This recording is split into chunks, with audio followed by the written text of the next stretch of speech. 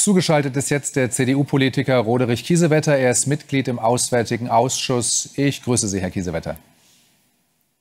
Guten Morgen, Herr Simon. Wie bewerten Sie denn den Umstand, dass Moskau jetzt das Getreideabkommen mit der Ukraine blockiert? In den ärmeren Regionen der Welt sind dadurch ja erneut Millionen Menschen durch Hunger ganz akut bedroht. Um, how significant is the fact that Russia is now going back on this important deal? And just explain why this deal was so important. Schon als Russland die Krim annektiert hat, protestierte der ukrainische Regisseur Oleg Sentsov öffentlich dagegen und bezahlte dafür jahrelang einen sehr hohen Preis in einem russischen Straflager. TTT hat damals über ihn berichtet. Jetzt kommt der neueste Film des Sacharow-Preisträgers in unsere Kinos, Rino. Gedreht hatte ihn noch vor Putins jüngstem Überfall auf sein Heimatland. Weltpremiere war bereits letztes Jahr bei den Filmfestspielen in Venedig. Dear Ukrainians, On October 29th, we managed to return another 52 people from Russian captivity, 50 of our defenders and two civilians. Among them are soldiers of the National Guard, the Navy, border guards and security forces. Energieversorgung ist das politische Thema der Stunde. Gerade jetzt vor dem Winter. Wladimir Putin setzt konventionelle Waffen gegen die Ukraine ein und politische Waffen gegen die EU. Stichwort Energieabhängigkeit. Experten rechnen Putin auch die Sabotageakte an den Gasleitungen in der Ostsee zu. Aber Anschläge auf wichtige Versorgungseinrichtungen gab es schon vorher und wird es wohl auch in Zukunft geben. Es gibt eine aktuelle Umfrage in Deutschland, wonach 80 Prozent der Deutschen Sorgen haben, dass dieser Krieg sich auf NATO-Gebiet ausweitet. Nehmen Sie diese German Angst, so wird das ja oft genannt, auch in Gesprächen mit Politikern wahr, mit der Bundesregierung wahr? Так, ми відчуваємо. Це правильна постановка питання. Але ви знаєте, з іншого боку, ми розуміємо, ja, auch wir spüren diese Angst. Einerseits verstehen wir natürlich, dass die Menschen an ihren Alltag im Frieden gewöhnt sind, dass bei ihnen das Völkerrecht gilt und Krieg natürlich immer böse ist. Die Deutschen haben ein Recht auf Angst. So, what was your reaction to this um, accusation from Russia? Well, I think it's a, it's a sign of the desperation that uh, that Putin's regime has got because of the the shambles of their illegal invasion of Ukraine and how wrong it's gone, what a terrible mistake it was. And if it wasn't for the fact that all of these issues are so serious, it's actually laughable. One could almost laugh at him about it. It's uh, the most ridiculous claim. What this war in Europe has shown us, it's bloody, vicious, and at the end of the day, it comes down to the infantrymen on the ground. So we're going to have to invest more in our land forces who have been woefully underinvested in in the last 10 to 15 yeah. years to make sure that we can play our role in NATO in future deployments, deterring future Russian aggression. Russia says it has completed its call up of 300,000 military reservists. Defense Minister Sergei Shoigu says over 80,000 reserve troops have already been deployed to Ukraine, with the rest still in training. President Vladimir Putin issued the mobilization order last month to beef up Russian forces in Ukraine. Now, following the daring drone attack on its Black Sea fleet, Russia has now suspended its participation in the United Nations brokered grain deal, and this has reversed months of diplomatic efforts that were aimed at ensuring food security in the world's poorest regions. The war in Ukraine entered a new phase in which drone warfare plays center stage. Can Ukraine successfully repel the wave of Iranian drones launched by Russian forces? What does the Sevastopol drone attack tell us about Ukrainian capabilities in this regard?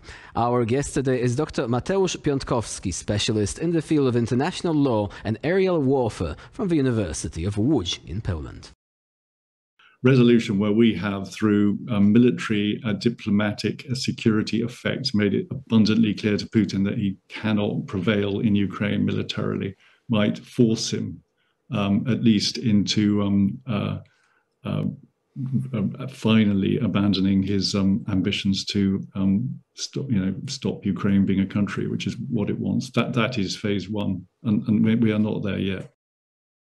Welcome to our program, and uh, today I welcome my guest. Uh, it's Nathalie Tocci. It's a political scientist and director of the Istituto Affari Internazionali at Vienna. That, Am I right? That is in Rome, in Rome, but in Rome. it's perfectly pronounced. So okay. I'm very impressed. Okay, I tried before, so I tested myself.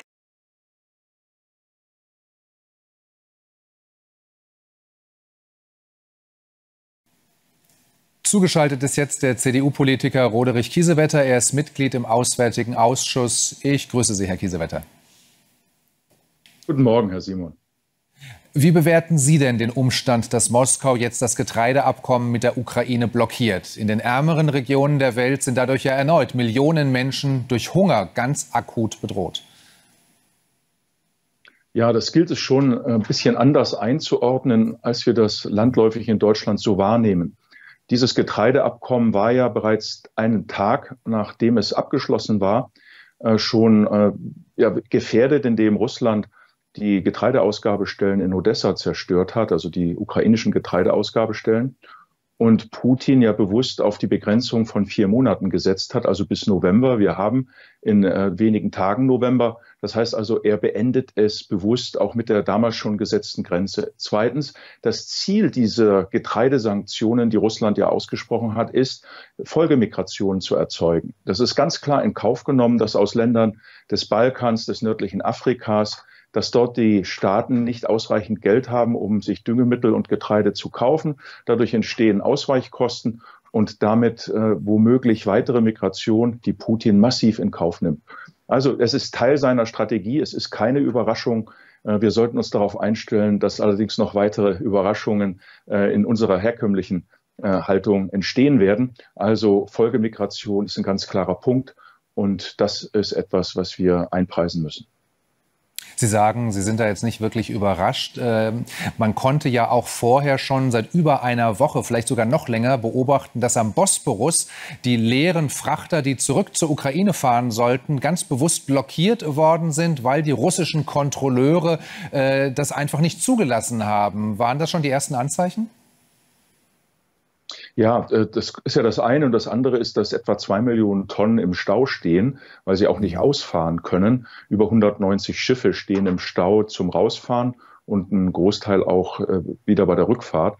Also das ist langsam vorbereitet und passt zur russischen Strategie, Parallel wird ja in der Ukraine massiv Infrastruktur zerstört, vom 10. bis 20. Oktober ein Drittel aller Elektrizitätswerke, sodass also auch bewusst in der Ukraine weiter Druck für Migration erzeugt wird, dass verhindert wird, dass Menschen zurückkehren. Das passt ins Gesamtkonzert. Wir müssen uns weiter darauf einstellen, dass Russland diesen Krieg nicht ausschließlich militärisch gegen die Ukraine sieht, sondern dass sie ganz breit sich aufstellen. Wir nennen das hybride Kriegsführung, also auch Informationskrieg, aber eben auch die Frage der Nahrungsmittel, der Düngungsmittel. Und die Düngemittel hat ja Putin selbst im September letzten Jahres extrem verteuern lassen, indem er beispielsweise Weißrussland den Export verboten hat. Also es passt in die Gesamtstrategie. Wir müssen nur anders antworten. Wir brauchen eine andere politische Kommunikation. Und deshalb ist auch gut, dass die Bundesregierung Generation, Generatoren liefert. Aber wir müssen uns auch darauf einstellen, äh, dass wir im nördlichen Afrika, auf dem Balkan vermutlich für mehr Lebensmittellieferungen sorgen müssen und Russland noch weiter sanktionieren. Eine weitere Reaktion schlägt der ukrainische Präsident Zelensky vor. Der fordert nämlich, dass man Russland jetzt aus den G20 rauswerfen sollte. Hätte ein solcher Vorschlag denn Aussicht auf Erfolg? Simon, das wird nicht möglich sein. Wir müssen auch aufpassen, dass die Ukraine keine unrealistischen Forderungen stellt. Es ist völlig nachvollziehbar. Ähm, die russische Föderation gehört geächtet. Sie zerstört das Weltmiteinander. Aber in den G20 sind auch Staaten wie China oder Indien und die werden einen Ausschluss eben zu verhindern wissen. Und deshalb äh, ist es viel wichtiger, den Druck auf Russland zu erhöhen, es weiter zu isolieren und auch die ganzen Fake-Botschaften zu entlarven. Und da erwarte ich mir von unserer Bundesregierung deutlich mehr Kommunikation. Ich will nur eine Zahl nennen. Äh, für unsere Bevölkerung werden knapp 300 Milliarden Euro ausgegeben, um den Zusammenhalt zu ermöglichen, die sozialen Härten abzufedern. Und wir geben nur ein Prozent für die Ukraine aus. Drei Milliarden Euro geben wir aus, um der Ukraine mit Waffenlieferungen und anderen Hilfen an der Seite zu stehen. Im vergleichbaren Zeitraum äh, seit Kriegsbeginn haben wir 12 Milliarden Euro an Russland überwiesen für Energielieferungen. Die sind jetzt gestoppt. Aber es gilt unserer Bevölkerung mehr zu erklären, dass dies ein Krieg gegen uns alle ist und der nicht nur militärisch geführt wird. Sagt Roderich Kiesewetter von der CDU. Vielen Dank für das Gespräch. Dankeschön.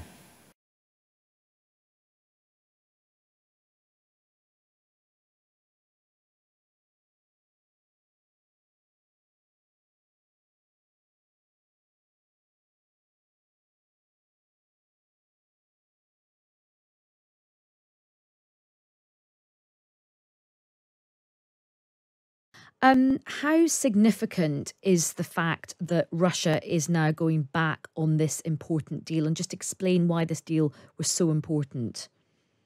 So the deal is is, is vitally important to Ukraine because of its economy, and it's vitally important to really tortured places in the world like Somalia and, and Libya and many other places in Africa for example, just the 170 ships at sea at the minute that are going to be caught up by this Russian change of direction will carry enough food for 7 million people for a while. So, the first reason this really matters is that uh, at stake is the welfare of millions of people in parts of the world that are nothing to do, frankly, with this, with this war. And just talk to us about the, the, the concept of this fictitious terror um, attack, because um, there was a Russian naval base that was hit by a, a drone attack. Do you think that was the Russians that did it? And then they're saying that it was Ukraine that did it, which gives them the, the excuse for pulling out of this um, deal.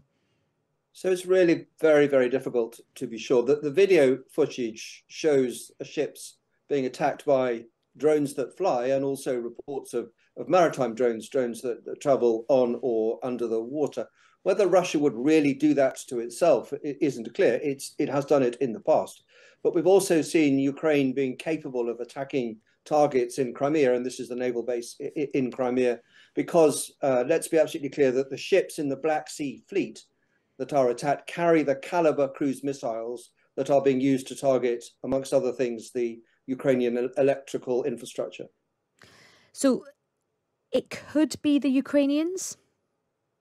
It could be, or it could be the Russians. But I, I think it's better to see this in the context of the of the three things that are going on right now in this war. First of all, on on the, on the battlefield, um, as the war goes into the winter after seven or eight very very difficult uh, months, both sides are struggling to make uh, headway, and both sides are facing what looks to me to be a very long drawn out war well into next year and probably beyond. Secondly, Russia is doing everything it can to weaken the will of the Ukrainian people to continue the, the fighting, principally by, by, by bearing down on, on their electricity supply in the winter. And the third thing, and this is where the grain issue really comes in, is Russia is now doing everything it can to try and deplete the will, particularly of Western powers, to continue to support Ukraine by making our lives uh, difficult. And it's very interesting that in this attack, Russia cited help from British specialists to do it, which is which is clearly ridiculous, mm. but is an indication of how Russia's eye is turning to the supporters of Ukraine. And we shouldn't be surprised if we too get a bit of a tough time, whether it's in cyberspace or electricity generation or whatever it is, in the coming weeks and months. And that very much follows on from the kind of ridiculous but very serious allegations made yesterday from the Russian Ministry uh, of Defense saying that it was the British Navy that had destroyed the Nord Stream gas pipeline. I mean, should Britain be worried about this escalation in claims uh, against us? Yes, we should, because we can be absolutely clear the story is is, is nonsense. The, the British Navy did not uh, disrupt or uh, the pipeline that supplies nor in normal times gas from Russia to Germany. Of course, we didn't. But when Russia says things like this, it, it's it's not because it's just made them up and they have just made them up. It, it's it's usually because it's going to justify something that that happens now that and that might be more cyber interference in our in our infrastructure, citing the pipeline attack as justification. It might be the interruption of the gas supply from Norway, about which there has been some uh, some some loose chatter. So we should take notice of what Russia says, not because it's true, but because of, of, of what it might herald mm. happening next. Right, I see what you mean. So it could be pitch ruling for something to, to come down the, the track. That's really interesting.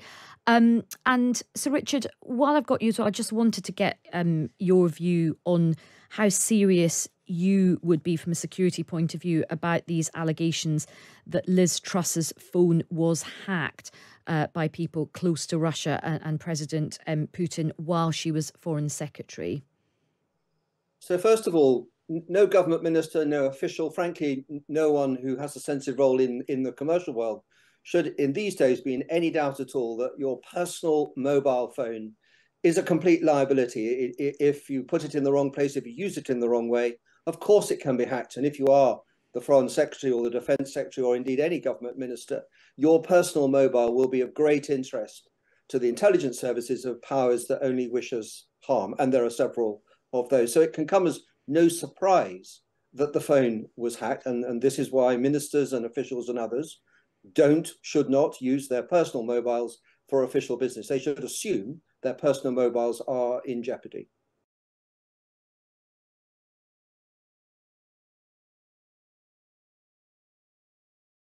Schon als Russland die Krim annektiert hat, protestierte der ukrainische Regisseur Oleg Sentsov öffentlich dagegen und bezahlte dafür jahrelang einen sehr hohen Preis in einem russischen Straflager. TTT hat damals über ihn berichtet. Jetzt kommt der neueste Film des Sacharow-Preisträgers in unsere Kinos, Rino. Gedreht hatte ihn noch vor Putins jüngstem Überfall auf sein Heimatland. Weltpremiere war bereits letztes Jahr bei den Filmfestspielen in Venedig.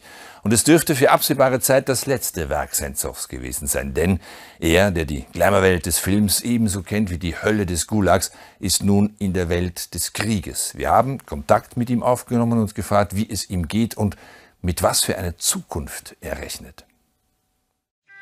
Oleg Sentsov hat Fronturlaub. Der Regisseur ist jetzt Soldat, Sergeant in der Luftaufklärung der ukrainischen Armee. Aber auf seinem Sofa in Kiew zeigt er uns schon neue Drehbuchentwürfe mit Filmideen für die Zeit nach dem Krieg. Mein Leben hat sich schon oft gewendet. Ich habe viel erlebt. Jetzt macht meine Filmkarriere Pause und ich bin im Krieg. Und hier bleibe ich bis zum Sieg. Ohne Sieg wird es keine Ukraine, keine ukrainische Kultur und kein ukrainisches Kino geben. Jetzt sind Sie selbst ähm, ganz real im Krieg. Was ist das? Was bedeutet das für Sie? Wie geht es Ihnen damit? Der Krieg ist überhaupt nicht so, wie er in den Nachrichten gezeigt wird. Das sage ich Ihnen. Er ist schmutziger, banaler, langweiliger, komplizierter, länger. Aber der Mensch gewöhnt sich an alles, verstehen Sie? An die Beschüsse, den Tod. Er wird zum Alltag. Krieg macht nichts. Sie schießen? Egal. Das Leben hat schon so oft versucht, mich zu brechen. Dieser Krieg ist für mich nicht schwer.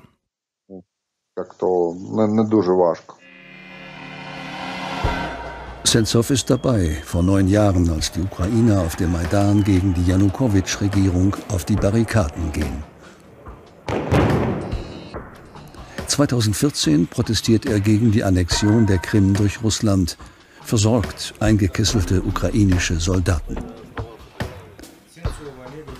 2015 verurteilt ihn ein Moskauer Gericht zu 20 Jahren Haft. Putin bezeichnet ihn öffentlich als Terrorist. Im Hungerstreik verliert Sentsov beinahe sein Leben. Nach vier Jahren Straflager in Sibirien kommt er bei einem Gefangenenaustausch frei. Und jetzt Putins Vernichtungskrieg gegen Sentsovs Heimatland. Er will die Ukraine als solche zerstören. Als Staat, als Nation, als Kulturraum, als alles. Das ist die typische Herangehensweise eines Imperiums gegenüber seinen Kolonien. Das passiert jetzt nicht, weil Putin sich das gerade in seinem Kopf so zurechtgelegt hat. Wir erleben die heiße Phase eines inzwischen achtjährigen Krieges gegen unsere Geschichte und Kultur, der im Grunde seit Jahrhunderten andauert. Es ist schon grotesk. Während der Regisseur Sentsov als Soldat in der Ukraine für sein Land kämpft, kommt bei uns sein neuester Film in die Kinos. Rino. Nichts für schwache Nerven. Der Film ist roh und brutal. Es geht um einen jungen Mann, Rino, der immer tiefer ins ukrainische Gangstermilieu der 90er Jahre abrutscht und elend dafür bezahlt. Den Hauptdarsteller hat Regisseur Sentsov wie einige der Laienschauspieler aus dem Hooligan-Milieu ausgesucht. So gewaltverliebt will man die Ukraine heute nicht sehen. Aber Rino zeigt eine Generation ohne Perspektive und ohne Werte nach dem Zusammenbruch der UdSSR. Dieser Film ist ein Versuch, in die eigene Vergangenheit zu schauen, um zu sehen, wo wir in der Ukraine vor 20 Jahren waren, in jenem hässlichen Abschnitt unserer Geschichte. Wir schauen beschämt zurück und freuen uns darüber, dass diese Zeit vorbei ist. Dass wir einen riesigen Weg von einer post-sowjetischen Kolonie Richtung Europa gegangen sind. Der Ukraine-Krieg hat diesen Prozess brutal gestoppt. Schulen wurden gezielt zerstört, Einkaufszentren, die Stromversorgung. Kann die Ukraine so überleben?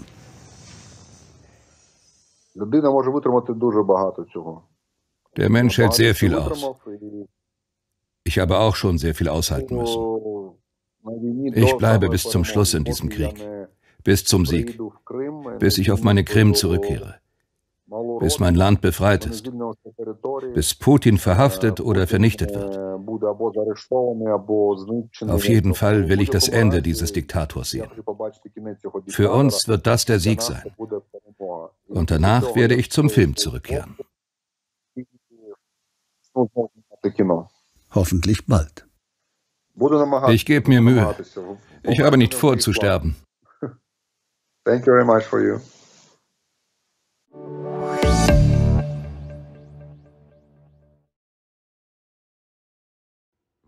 Dear Ukrainians, on October 29th, we managed to return another 52 people from Russian captivity, 50 of our defenders and two civilians. Among them are soldiers of the National Guard, the Navy, border guards and security forces. Andriy Albov is the head of the surgical department of the Mariupol military hospital. He was evacuated from Azovstal. Vasil Cholenko is a volunteer, security guard, commander of the reconnaissance platoon. Among these 52 are a sailor from Snake Island, as well as a National Guardsman who was taken prisoner while defending the Chernobyl nuclear power plant, and a pensioner who earlier worked in the security service of Ukraine and who was taken prisoner by the occupiers in Bucha. We remember all those held captive in Russia and in the occupied territory and will do everything to return each and every one. Our exchange team is always working. These are Budanov, Yermak, Usov, Lubinets and others who help. In total, since March, 1,031 people have already been released from Russian captivity. Thanks to the whole team for this result.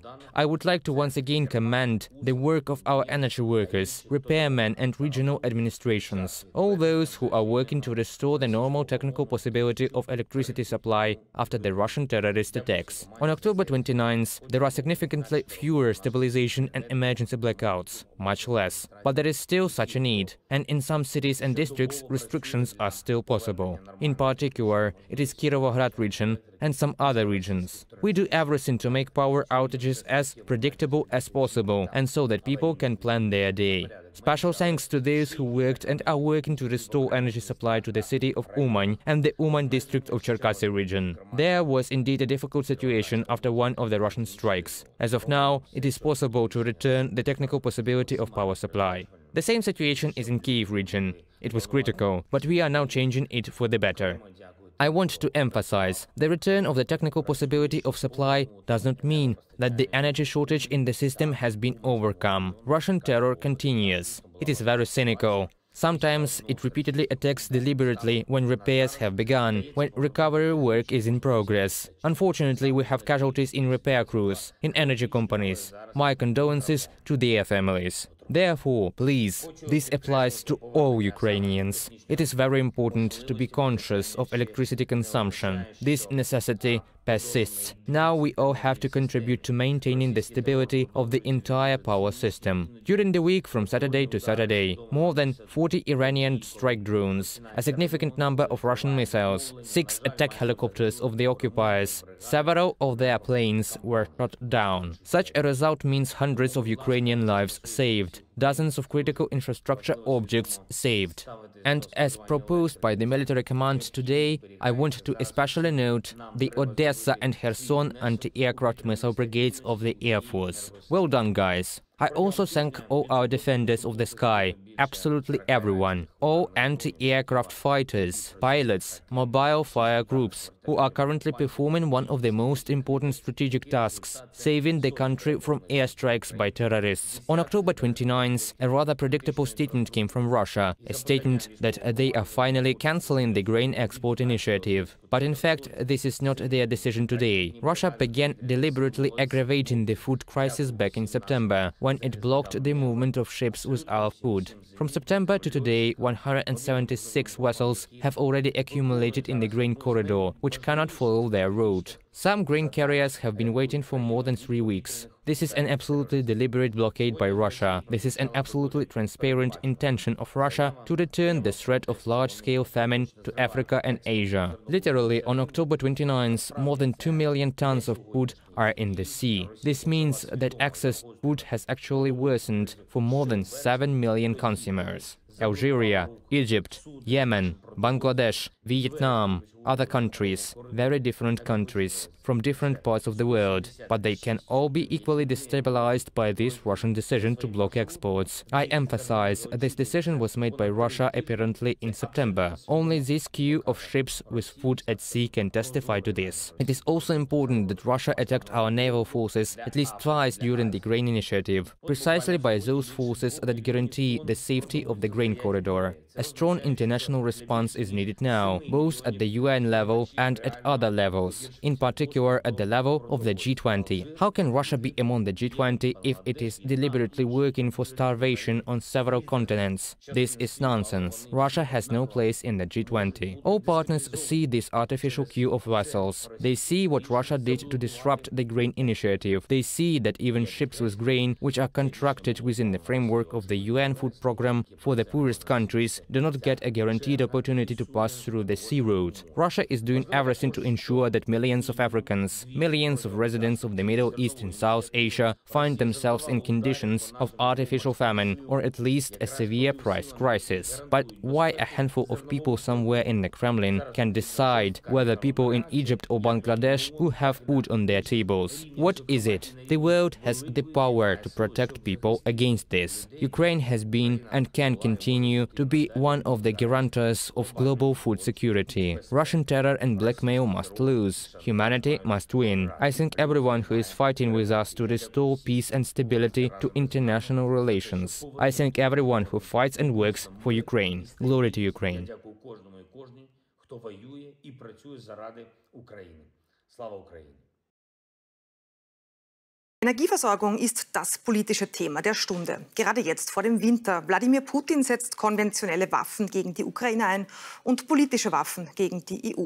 Stichwort Energieabhängigkeit. Experten rechnen Putin auch die Sabotageakte an den Gasleitungen in der Ostsee zu. Aber Anschläge auf wichtige Versorgungseinrichtungen gab es schon vorher und wird es wohl auch in Zukunft geben. Etwa auch durch Cyberangriffe kann die Energieversorgung ausgeschaltet werden. Umso mehr Tempo will die EU jetzt beim Schutz kritischer Infrastruktur machen. Ein Bericht von Fritz Jungmeier und Robert Sigmund. Bilder von russischen Raketenangriffen auf die Ukraine. Im Visier der Angreifer die kritische Infrastruktur. Seit Beginn des Überfalls lässt Wladimir Putin gezielt Eisenbahnstrecken, Bahnhöfe, Kraftwerke, Öllager, Stromleitungen, Straßen und Flugplätze bombardieren. Damit schwächt er die Wirtschaft der Ukraine weiter, zwingt mehr Menschen zur Flucht und erhöht den Druck auf die Europäische Union. Wirklich aufgeschreckt ist die EU aber erst durch einen sehr lauten und unhörbaren Knall 80 Meter unter dem Meeresspiegel und sichtbar geworden durch diese Gassprudel in der Ostsee. Vermutlich durch einen russischen Sabotageakt werden die beiden Gasleitungen Nord Stream 1 und Nord Stream 2 zerstört. Die Sabotageakte gegen die Pipelines haben gezeigt, wie verwundbar unsere Energieinfrastruktur ist. Zum ersten Mal in der jüngeren Geschichte ist sie zur Zielscheibe geworden, sagt Anfang Oktober vor dem Europäischen Parlament in Straßburg Kommissionspräsidentin Ursula von der Leyen. Jetzt soll alles ganz schnell gehen bei der Stärkung der Widerstandsfähigkeit kritischer Infrastruktur im Falle von Naturkatastrophen, Terroranschlägen und Sabotage. Doch was genau ist kritische Infrastruktur? Jeder weiß das ungefähr, nicht alle umfassend. Deshalb ist es so wichtig, klar zu definieren, was kritische Infrastruktur ist. Ich habe parlamentarisch beispielsweise die Lebensmittelketten eingebracht. Die müssen funktionieren, äh, damit das Leben weitergehen kann. Äh, und in der Vergangenheit war beispielsweise nicht einmal das Pipeline-Dasein, die Pipeline-Struktur als kritische Infrastruktur definiert. Nicht einmal Nord Stream, das ja jetzt in aller Munde ist, war als kritische Infrastruktur definiert. Das geschieht jetzt. Und auf Basis geheimdienstlicher Informationen definiert man, woher die größten Gefahren drohen. Da hilft der sogenannte strategische Kompass. Der strategische Kompass, der äh, definiert zwar Putin Russland heute als größte Gefahr äh, aufgrund des äh, auch konventionellen Krieges, wie wir ihn seit Februar erleben. Diese hybriden Angriffe gab es ja auch schon vorher, aber den islamistischen Terror nach wie vor als sehr, sehr hoch angesetzte äh, Gefahr. Da hat sich gewissermaßen in der Reihenfolge der Risikokategorien ein bisschen was geändert, aber beides gehört nach wie vor zu den ganz großen Gefahrenszenarien. Die Angriffsfläche ist natürlich riesig, man wird nie alles schützen können, aber ein Kriterium ist zum Beispiel jedenfalls einmal, dass man die Stromversorgung aufrechterhält. Wir wissen, seit der Liberalisierung äh, des, des Stromnetzes ist die Gefahr eines, eines Blackouts vierfach höher, sagen Experten, als das vorher der Fall war. Und in Österreich gibt es Wissenschaftler, die davon ausgehen, dass dieser Blackout stattfinden wird in den nächsten fünf Jahren. Und wenn man weiß, was für Folgen das hat, nämlich das wird einmal 12 bis 48 Stunden dauern, dass überhaupt dann das Netz wieder in Betrieb geht, dann weiß man, dass man das dringend verhindern muss und mit allen Mitteln, die wir haben äh, kritische Infrastruktur ist jedenfalls einmal die Versorgungslinien, also äh, sprich äh, Gaspipelines, Stromnetze, Kraftwerke, äh, wichtige Internetverbindungen, also die Hochseekabeln und diese Dinge. Und ich würde auch auf jeden Fall dazu sagen, natürlich auch äh, Gesundheitsversorgung und was im Weiteren auch, auch dazugehört. Äh, da wissen wir auch seit Covid, dass wir da noch Lücken haben in, in der Versorgung. Aber die wichtigste Infrastruktur, die wir haben, ist auch unsere Demokratie. Und die gehört auch geschützt, nämlich im Sinne von, dass wir auch unsere Wahlen und die Demokratie von ausländischer Einflussnahme, von äh, Cyberattacken und dergleichen auch in Zukunft besser schützen werden müssen. Was kritische Infrastruktur ist und besser geschützt werden muss, wird gerade im EU-Parlament angesichts der neuen Bedrohungslage durch Russland neu verhandelt. Auch Österreich muss sich der Herausforderung stellen. Hierzulande wird bis dato kritische Infrastruktur indirekt über das Strafgesetzbuch definiert. Laut 74 betrifft kritische Infrastruktur Einrichtungen, Anlagen, Systeme oder Teile davon, die der Allgemeinheit zugänglich und dienlich sind. Die Eigentumsverhältnisse sind unbedeutend, auch private Anbieter zählen dazu. Das Strafgesetzbuch listet die Bereiche auf öffentliche Sicherheit, also Polizei, Zoll, Justizwache, Landesverteidigungseinrichtungen wie Kasernen und Flugplätze, Kommunikation und Information, da sind zu nennen Radio, Fernsehen, Post, Satelliten, Internetkabel, weiters Gesundheitsbereich, also Spitäler, Heime, Rettungsdienst, Apotheken, die öffentliche Versorgung, Kraftwerke, Leitungen, Raffinerien, Gasspeicher, die Abfallentsorgung, Entsorgungszentren, Kläranlagen, Kanalisation und der öffentliche Verkehr, also Straßen, Schienen, Brücken, Bahnhöfe, Flughäfen. Seit 2008 ist die Richtlinie zur kritischen Infrastruktur in Kraft. EU-Parlament und EU-Kommission wollen sich ein Jahr Zeit geben, diese zu aktualisieren. Es sollen elf Risikobereiche abgedeckt werden, darunter Naturkatastrophen, Terroranschläge, interne Bedrohungen und Sabotage, aber auch Notfälle im Bereich der öffentlichen Gesundheit, wie die jüngste Corona-Pandemie schmerzlich aufgezeigt hat. 2024 soll das Gesetz zum Schutz kritischer Infrastruktur in Kraft treten und mithelfen, die Menschen in der EU vor einem Alltag wie derzeit in der Ukraine zu bewahren. Es gibt eine aktuelle Umfrage in Deutschland, wonach 80 Prozent der Deutschen Sorgen haben, dass dieser Krieg sich auf NATO-Gebiet ausweitet. Nehmen Sie diese German Angst so wird das ja oft genannt, auch in Gesprächen mit Politikern war, mit der Bundesregierung war? Так, ми відчуваємо. Це правильна постановка питання. Але ви знаєте, з іншого боку, ми розуміємо, ja, auch wir spüren diese Angst. Einerseits verstehen wir natürlich, dass die Menschen an ihren Alltag im Frieden gewöhnt sind, dass bei ihnen das Völkerrecht gilt und Krieg natürlich immer böse ist. Die Deutschen haben ein Recht auf Angst. Andererseits geht es für die Ukraine ums Überleben. Darum haben wir nach acht Monaten im Krieg keine Angst mehr.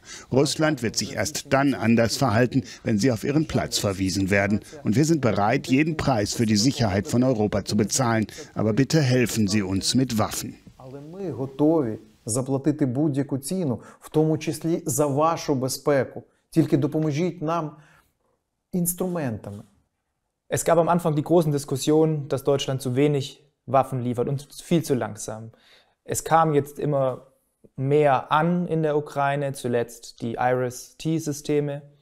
Es gibt aber weiterhin die Weigerung von Deutschland, Panzer westlicher Bauart zu liefern, Leopard-Panzer, Marder-Schützenpanzer. Безумовно, ми наполегливо працюємо в цьому напрямку, і безумовно, у нас є певні успіхи. Я думаю, що з часом Ja, wir arbeiten weiter hart daran und haben auch Erfolge. Ich denke, dass wir für die Panzer bald einen Konsens mit unseren deutschen Partnern finden.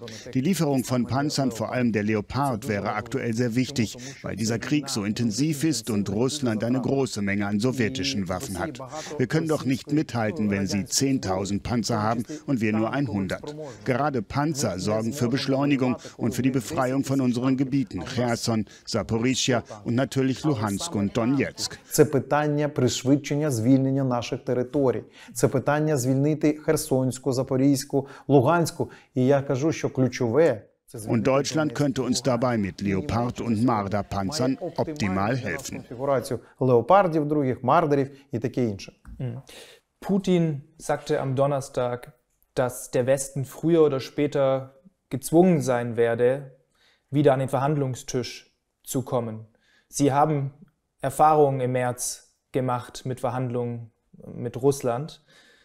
Was muss aus Ihrer Sicht erfüllt sein? Was sind die Voraussetzungen dafür, dass Sie sagen, wir können wieder an den Tisch gehen?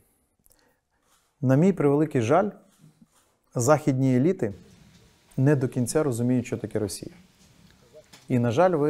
Leider verstehen westliche Eliten nicht ganz, wie Russland tickt. Schon oft tappten sie in die Falle, die der Kreml ihnen stellt. Russland hat niemals Verhandlungen vorgeschlagen. Russland hat immer nur verdeckte Ultimaten vorgeschlagen. Die Ukraine ist erst bereit für Verhandlungen, wenn das eigene Territorium befreit ist. Und dazu gehören der Donbass und die Krim. Але це переговори, коли буде звільнення територія України, включно з Донбасом, включно з Кримом. Alles andere ist inakzeptabel, denn das Ultimatum der Russen bedeutet nur die Fortsetzung des Krieges. Sie sagen immer wieder, wenn die Ukraine die richtigen Waffen bekommt, könnte dieser Krieg sehr schnell zu Ende gehen. Sie sagten kürzlich, der Krieg kann in einem Monat zu Ende sein. Wenn Sie das sagen, stelle ich mir immer die Frage, ich sehe im Grunde eine Lücke, weil sie auslassen, dass Putin doch niemals eine totale Niederlage akzeptieren würde. Oder liege ich falsch? Дуже, дуже файне питання. Ein sehr, sehr interessanter Punkt und ich kann Ihnen mit einem Satz antworten, Sie müssen endlich aufhören, Putin zu fürchten. Ich kann mich nur wiederholen, wenn wir Leopard-Panzer in angemessener Zahl erhalten, wenn wir MLRS-Systeme bekommen, wenn wir Luftabwehrsysteme und Antidrohnensysteme erhalten, um den Himmel zu schließen, dann können wir den russischen Genozid beenden und wir können die Zeit bis Putins Ende fast mathematisch berechnen. Чи антидронові системи, які дозволяють спокійно закрити небо, про що ми говорили, до речі, і 6 місяців тому, для того, щоб Росія не вела геноцидну війну, то тоді ми з вами можемо чітко математично обрахувати, якого часу достатньо, щоб в Росії почались незворотні процеси. І ви нарешті забули прізвище Путіна як такого. Gleichzeitig frage ich mich, wenn Sie sagen, diese Gesellschaft will diesen Krieg bis zum Ende führen, ob das Land das auch kann, ob die Möglichkeiten da sind. Ich habe gerade gehört, dass Ihr Finanzminister gesagt hat, dass allein im nächsten Jahr, im kommenden Jahr, 3,5 Milliarden Euro pro Monat fehlen werden, die finanziert werden müssen. Macht Ihnen das Sorgen? Po prostu. Die Ukraine wird standhalten, selbst dann, wenn fast alles zerstört zu sein scheint. Russland tötet nicht nur unsere Leute, sondern vernichtet auch unsere Wirtschaft. Wir können diese Probleme nicht allein bewältigen, wenn unsere Wirtschaft ruiniert ist. Es gibt die Idee, dass man eingefrorene russische, russische Assets benutzt, um die Ukraine zu finanzieren, auch beim Wiederaufbau. Wie ist da der Stand und haben Sie darüber auch schon mit der deutschen Regierung gesprochen? Unterstützt die deutsche Regierung das? Постійно йдуть консультації, в тому числі з німецьким урядом. Це дуже гарна тема, тому що заморожено.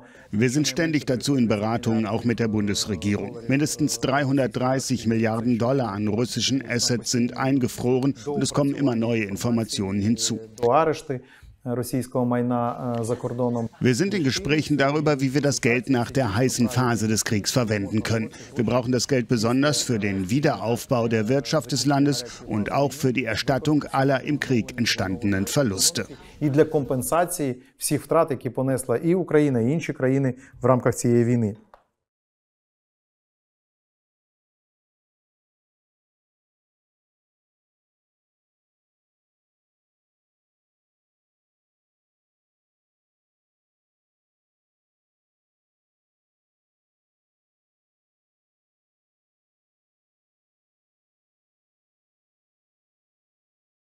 So, what was your reaction to this um, accusation from Russia? Well, I think it's a it's a sign of the desperation that uh, that Putin's regime has got because of the the shambles of their illegal invasion of Ukraine and how wrong it's gone, what a terrible mistake it was. And if it wasn't for the fact that all of these issues are so serious, it's actually laughable. One could almost laugh at him about it. It's uh, the most ridiculous claim, but uh, it's it's it's typical of some of the comments that have been made. It's muddying the water, throwing out all sorts of false accusations, and one could sort of see a, a pernicious plot, possibly, um, to see it as a way of uh, of making allowances for anything they might do to cables under uh, the area of our economic zone, for example. You know, for example, the, you know what happened to that cable going to the Shetland Islands. I, I there was a mm-hmm. Russian ship around at that stage, and you know it, it's muddying the waters. And and what I do find extraordinary is that it actually is a, a precise claim against a country. I don't think there's been another one like this actually pointing to. I mean, effectively they're pointing to the United Kingdom and the Royal Navy specifically, and the other things have been much more generalizations or tied very much to Ukraine, like the business of the dirty bomb, which you could see as possibly a precursor to them doing something there. So, so I think it's worrying, but uh, but it, it is it is a laughable nonsense. Mm. And I think historically, looking at it, I mean, you, you know, Putin loves maritime affairs. I think his father was involved with the navy, uh, and I remember some um, 17 years ago being in number 10 when he was giving medals to my sailors for rescuing Russian sailors in the Far East who were stuck very, very deep, thousands of feet down, where he couldn't rescue them, and he was giving medals out at the time, and uh, and of course was was concerned because because he didn't trust us at that just before that. He hadn't allowed us to go and rescue his sailors from the Kursk, who all died because he wouldn't let us rescue them. So there's been a linkage with the Navy, but I, I find this quite extraordinary. And as you say, I mean, very easy at the beginning to kind of see this as, as, as slightly comedic because it feels like such an absurd claim. But very struck by what you've just said. I mean, are you concerned that this this could be some sort of pitch rolling propaganda for them to really focus now on on Britain and try and sort of you know take some revenge? Well, I think in all sorts of areas they're throwing out ludicrous claims and making ludicrous statements because it gives openings then for conspiracy theorists and also to make excuses for um, abhorrent behavior. And and so I believe there is a, a, slight concern, as I said, is this the you know a few opening shots of nonsense because it means as things because things are going to get worse for Russia. There's no doubt about it uh, because of the Ukrainian nonsense that um, they do think about you know, doing something to underwater, undersea cables, and then their line, of course, would be well, you know, they did this to us, we do, do it to them, you know, rather like schoolboys. Um, but, but so I do find that of slight concern. But I mean, it is clearly such a nonsense, the claim, and such a nonsense. As, and as you rightly say, I mean, it wasn't for the seriousness of the situation. One would just have to laugh at them. I think Mm. one would just stand and laugh at them. But, but you know, there is that serious thread there.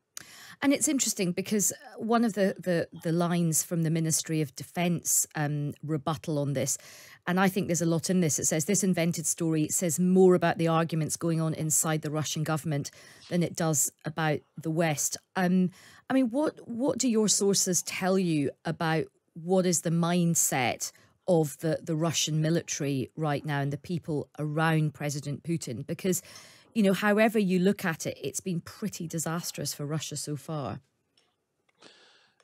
Well, I mean, I, I have to say I don't I don't have a specific line giving me detailed information on this. So it's just what I've drawn from various, uh, you know, from reading various things and and my knowledge of uh, knowledge of military affairs and things. But it's quite clear that um, Putin had managed to get some of his top people to agree to his what he called a special operation, and how much he had been fed nonsense about the ease of doing that, and how much was him blindly doing it anyway, is very difficult to know. But quite quickly it became clear what an appalling and dreadful mistake this was.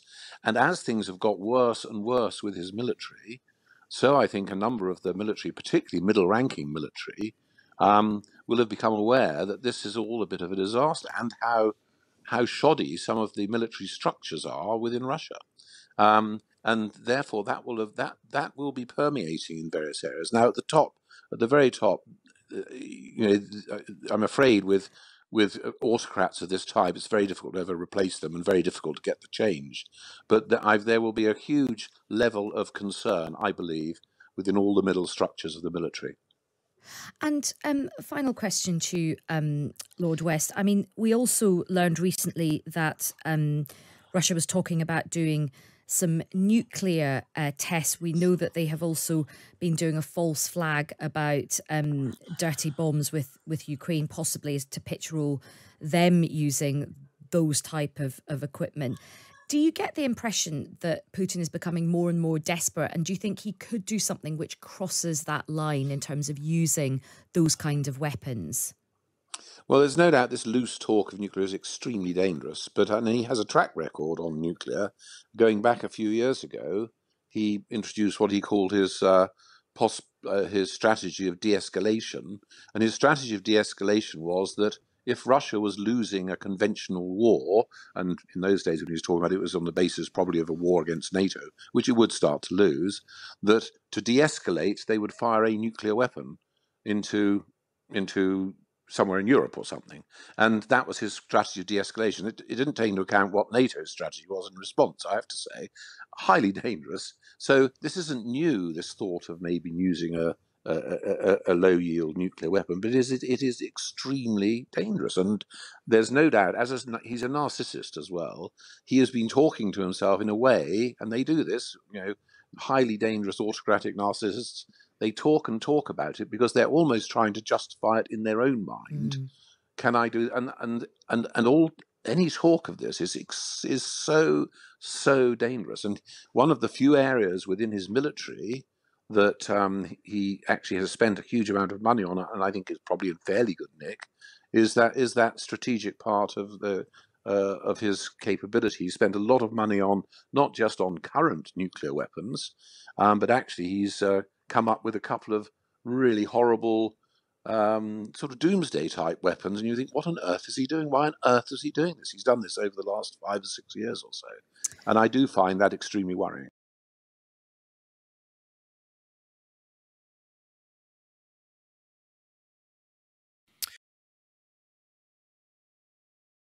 What this war in Europe has shown us. It's bloody, vicious, and at the end of the day, it comes down to the infantrymen on the ground. So we're going to have to invest more in our land forces, who have been woefully underinvested in in the last 10 to 15 Yeah. years, to make sure that we can play our role in NATO. In future deployments, deterring future Russian aggression. Throughout the programme, we've been assessing the biggest challenges awaiting Rishi Sunak, from the NHS to strike action and the small issue of maintaining harmony within his party. There's lots to be across, but we can't overlook the ongoing war in Ukraine and the careful negotiation of Western allies to support the front line. Lord Dannatt is a crossbench peer and former head of the British Army. Good morning to you. Hello, good morning. What's your view on the role that the UK needs to play in the conflict over the coming weeks and months? What does Rishi Sunak need to be mindful of? Well, I think uh, Rishi Sunak has to continue the movement that Boris Johnson uh, started, which was to give steadfast support to Ukraine. Indeed, amongst the European members of NATO or the European community members themselves, uh, the UK has been out uh, out front uh, in giving support to Ukraine, and we have been able to support that to the greatest extent that we can by providing them weapons, ammunition, and training, particularly training. Uh, we've trained so far upwards of 6,000 Ukrainian infantrymen uh, in this country, um, giving them a, a, an intense course in how to, to fight their enemy and then sending them back to the front line. So that's really, really important that um, we continue to do that. And also to make sure by bilateral conversations that we maintain the unity uh, of NATO, we maintain the unity of the West, and particularly keep the United States as engaged as possible. It's the inter intervention and support from Uncle Sam that has made the mm. biggest contribution to the Ukrainian capability. So Rishi Sunak must be prepared to spend time to take the lead to make sure that Europe and the West stay united and the Americans are on board. Yeah, um, Sunak made a series of calls to world leaders after he was made prime minister, and one of the longest, the Sunday Times reports, was to Zelensky.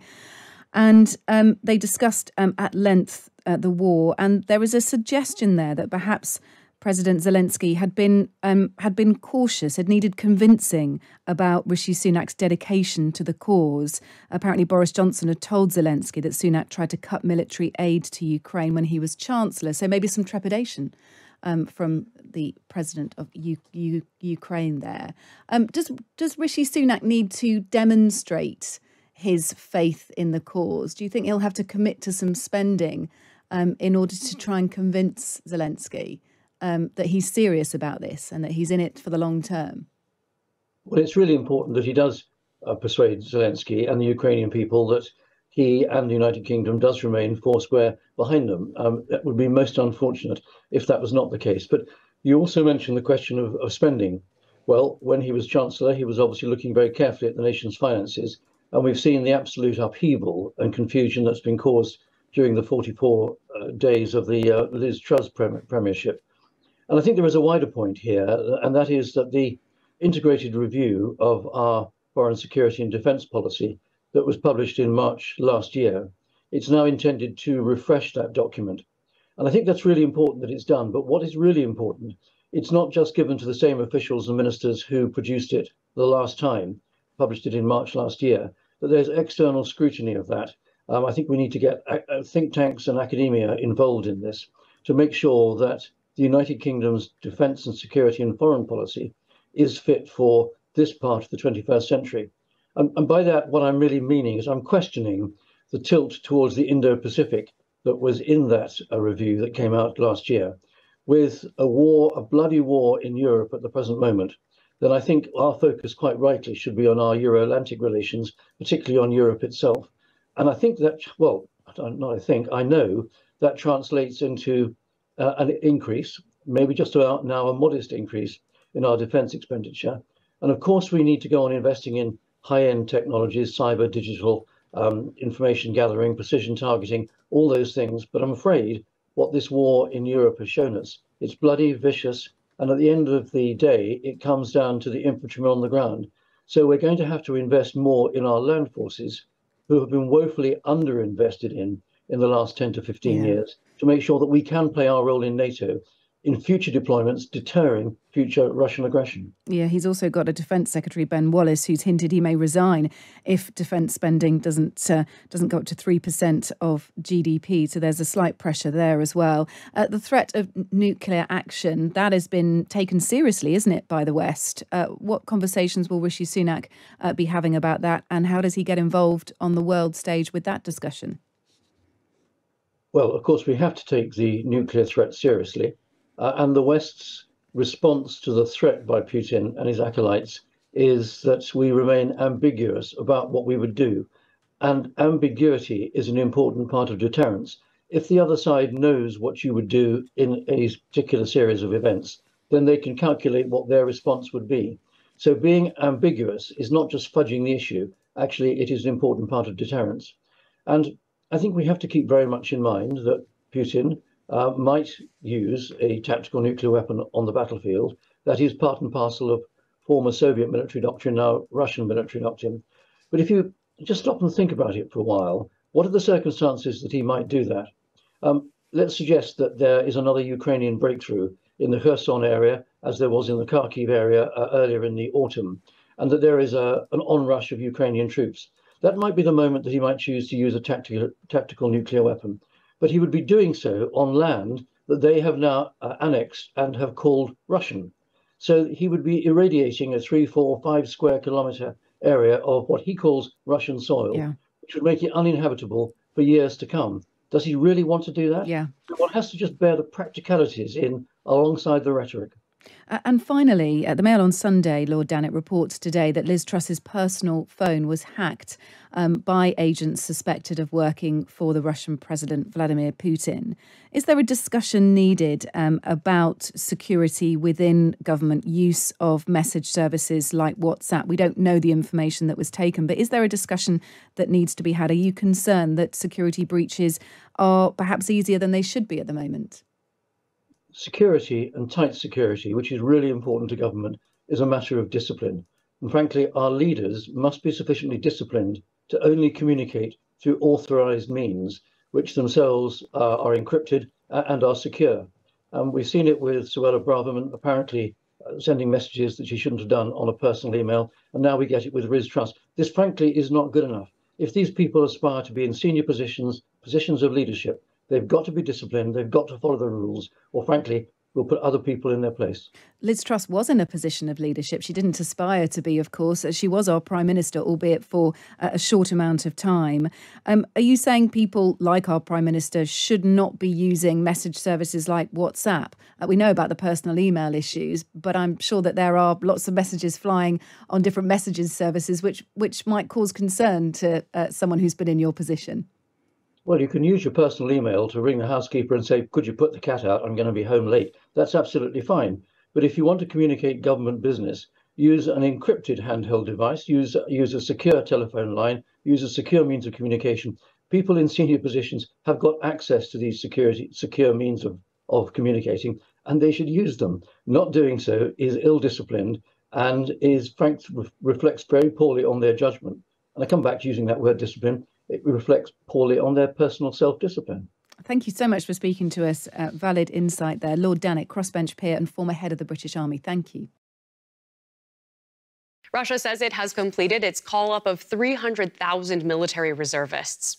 Defense Minister Sergei Shoigu says over 80,000 reserve troops have already been deployed to Ukraine, with the rest still in training. President Vladimir Putin issued the mobilization order last month to beef up Russian forces in Ukraine. The call up led to protests. It also prompted hundreds of thousands of Russian men to flee the country. For more, let's get across to Frank Ledwidge. He is a senior lecturer in strategy and law at the University of Portsmouth and a former military intelligence officer. Good to see you again. Um, can you tell us how effective these reservists who have arrived on the ground in Ukraine could be for the Russian military? Well, good morning, Claire. Only about half of these 40,000, according to Putin, are actually going into combat. The other 40,000 are likely to stay behind as logistic support troops. Putin himself said that they were getting between two and three weeks training. That is insufficient, essentially, even to train you to use your rifle properly and work in a very small group. The effectiveness of the combat elements of this, which is about 40,000, as I say, and they'll be spread all over the front, will entirely depend on their commanders at the front. And they've been very variable. Mm. So the answer to your question is really they won't make a they won't make a significant difference on the ground at all. At best, they may allow the the uh, uh, Russians to hold some ground, but but nothing more than that. Indeed, with cold winter months approaching, Russia has been attacking Ukrainian infrastructure, such as the electricity network, um, demoralizing the Ukrainian population. Uh, but you have actually argued that things could be worse for Russia's forces. Why exactly is that? First of all, Ukraine is getting a great deal of equipment from the West. It's getting hundreds, hundreds of thousands of pieces of of cold weather gear, enabling the, the Ukrainians, of course, to, to work far better. And that's crucial. In winters, as you well know, in Central Europe can go down, especially in the central Ukraine area, to minus 20, minus 30 degrees centigrade. And you simply can't operate in that.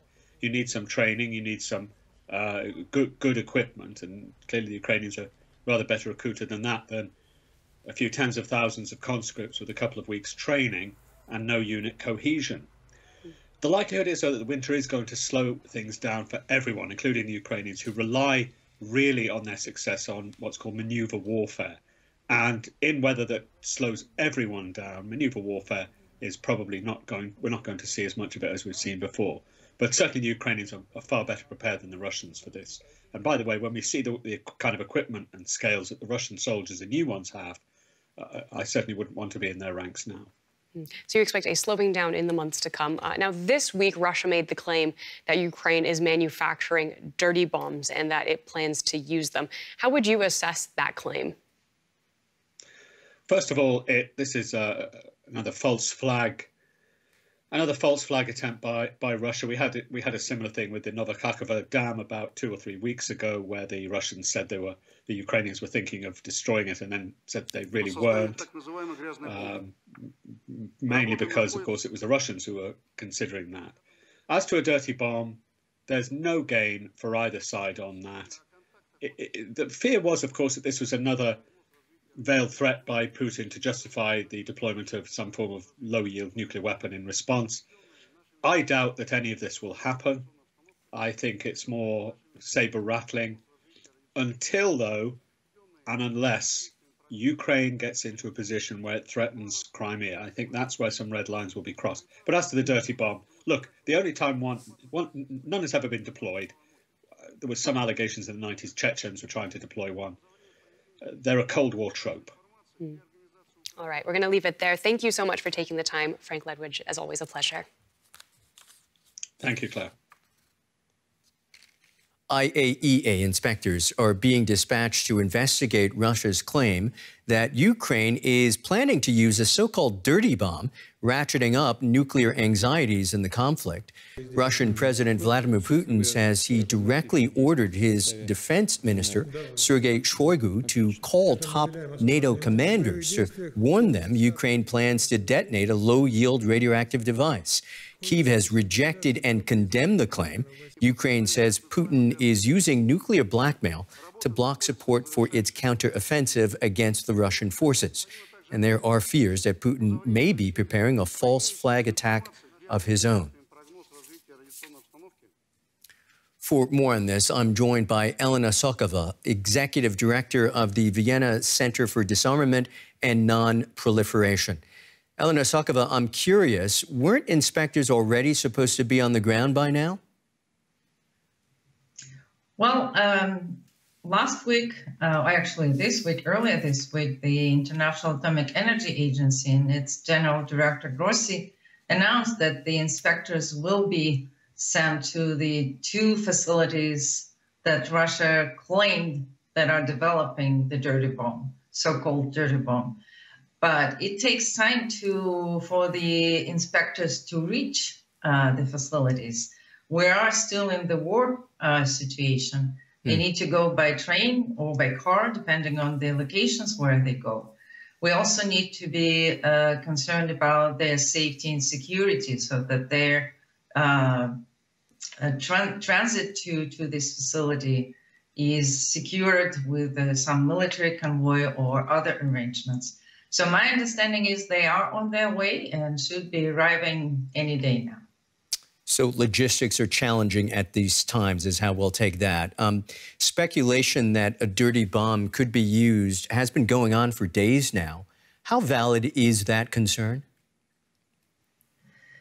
Well, uh, in my personal view, um, this is not a particularly valid statement. And um, I would have to really come up with any reasonable explanation. Why would Ukraine do that? Mm. Uh, particularly if the plans are to use it on its own territory.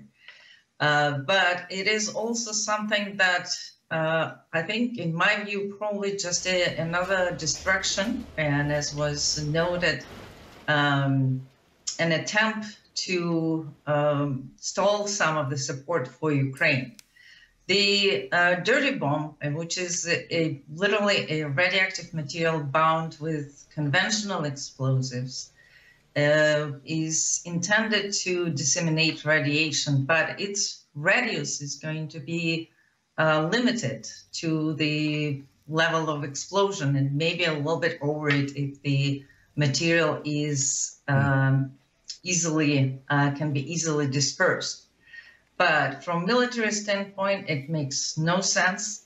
What it would lead uh, in terms of casualty, just the people who are um, killed or affected by an explosion itself, uh, which is like a regular explosive, and the contamination of the area.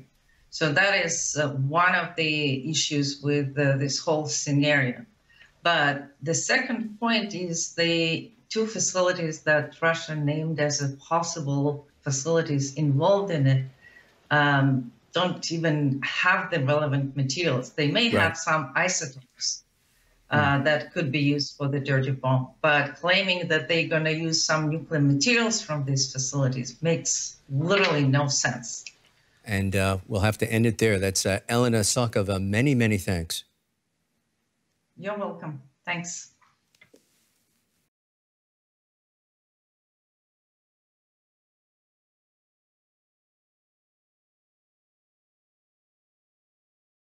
Now, following the daring drone attack on its Black Sea fleet, Russia has now suspended its participation in the United Nations brokered grain deal, and this has reversed months of diplomatic efforts that were aimed at ensuring food security in the world's poorest regions. Now, Ukraine is one of the world's biggest exporters of food grains. In 2020, Ukraine alone accounted for nearly about 9% of the wheat exports, 15% of the global maize exports, and 44% of all sunflower oil in the international market. Many countries of the world, including those of global north and south, were heavily reliant on Ukraine for the food grain imports. However, when Russia invaded the Ukrainian territories in February, these crucial exports were affected. Russia captured and also blocked crucial ports on the nation's World Food Programme said that nearly about 47 million people were at the risk of acute hunger due to the global food crisis. The Ukraine grain deal, officially known as the Black Sea Grain Initiative, was brokered by Turkey and the United Nations in the month of July. It eased Russia's naval blockade and also led to the reopening of the three key Ukrainian ports. And since then, nearly about 400 ships carrying a total of 9 million metric tons have departed Ukraine's ports. The initiative also helped stabilize and subsequently lower the global food prices, essentially moving precious grain from one of the world's bread baskets to the tables of those in need. At least about 40 countries received Ukrainian foodstuff from this initiative. Nearly 25% of the food that was exported, that was equivalent to 1.8 million metric tons of the food grain, went to the low and the lower middle income countries with vulnerable populations. Some 25% of the food grain went to the upper middle income nations and the rest went to the high income nations. Also, two-thirds of the wheat that was exported under this initiative reportedly was exported to countries in Latin America, Asia, Africa and Oceania. The deal, initially brokered for 120 days, was due to be renewed in November, on, the, on the 19th of November. But with Russia now suspending this deal, grain prices are expected to rise pretty dramatically. Now, experts say that the suspension of this grain deal has once again raised fears of a global food crisis. And reacting to the development, the United States has said that Moscow is weaponizing food. The American President Joe Biden has said that Russia's move is simply outrageous. The United Nations, for its part, has also urged all parties to ensure the continuation of the grain deal, calling it a critical humanitarian effort. Meanwhile, President Volodymyr Zelensky has asked has asked for a strong international response to Russia's move, particularly from the leaders of G20, which is gathering in a couple of weeks in Indonesia.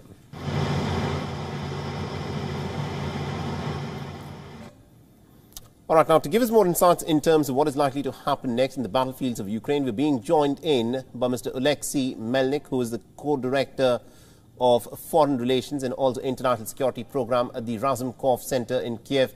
Now, Mr. Melnik, thank you very much indeed for taking time out and speaking to us here on WION. Now, what we've witnessed in the course of the last 36 hours is a serious escalation in the Russia-Ukraine war, where Sevastopol has in fact come under attack. This, of course, is the headquarters of the Russian Black Sea Fleet.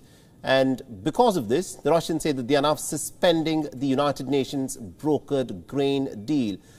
How, how do you think, let me first ask you this question, how do you think this is now likely to affect the export of grains out of Ukraine?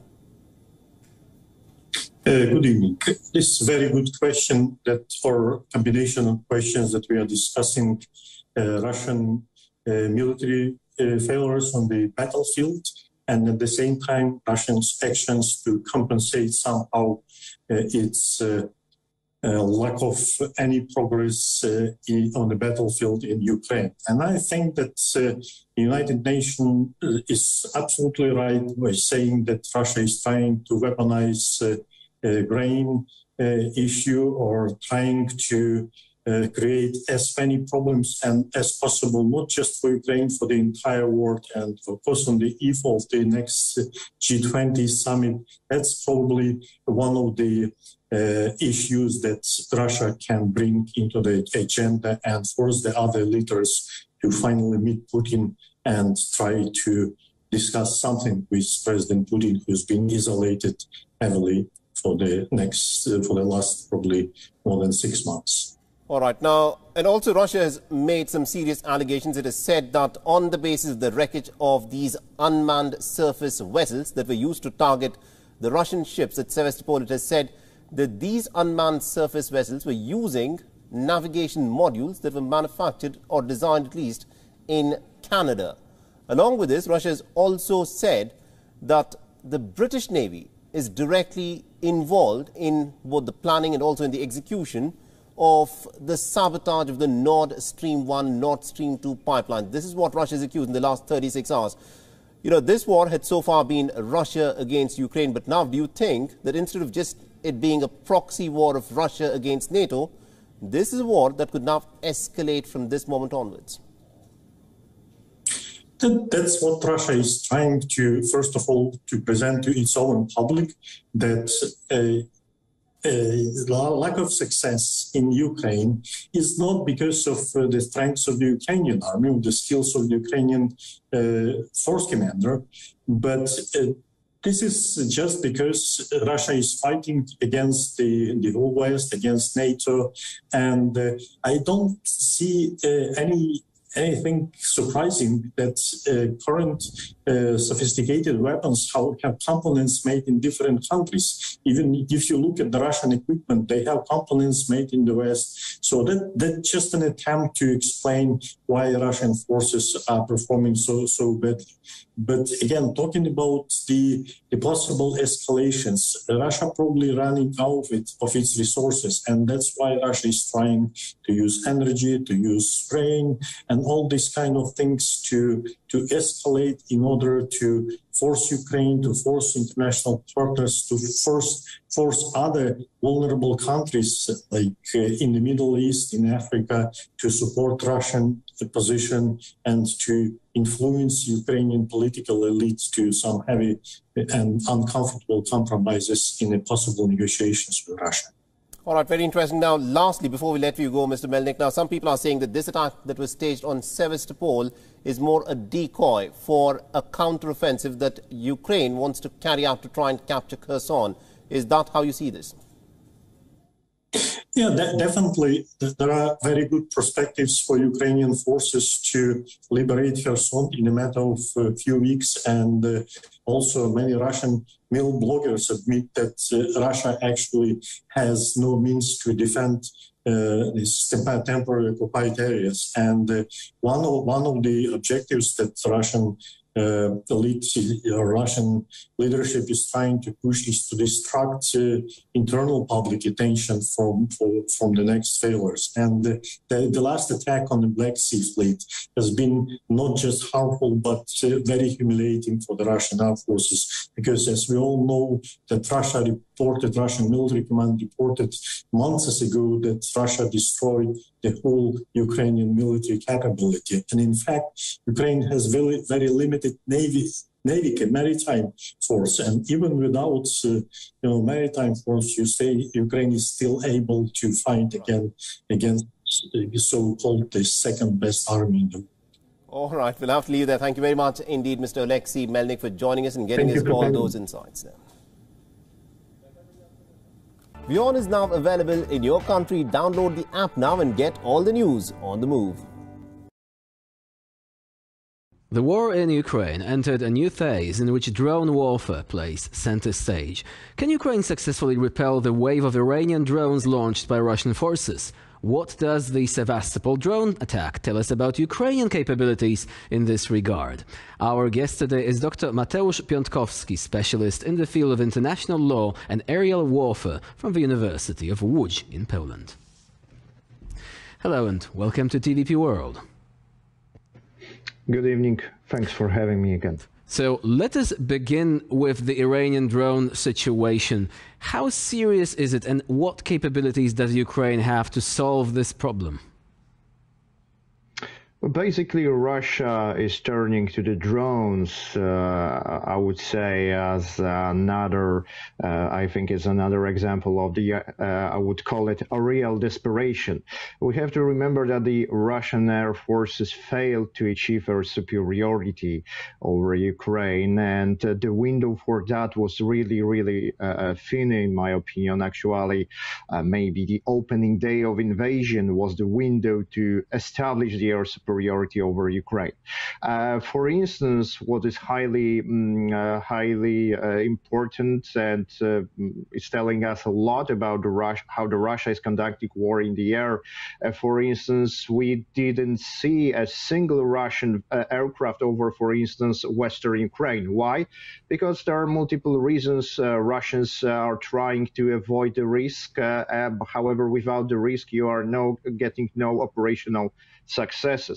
Uh, and of course, the, the bravery of the Ukrainian air, uh, air defense, um, Ukrainian uh, interceptors, fighters, and um, the Western deliveries denied in some areas the, the possibility of the Russian um, aircrafts to fly with with safety to, to, to its own. So so basically, mm, that's I would say another another sign of desperation, although I, I, think it's a dangerous one because those drones are used in swarms. They are trying to overwhelm the Ukrainian air defense because, because we got to remember uh, Ukraine need to fire a missile, which of course could cost a, a couple thousand of uh, uh, Uh, uh, of dollars, why the uh, uh Iranian drones are, especially those one deployed against the Kiev, around 20,000, they are costing around 20,000 US dollars.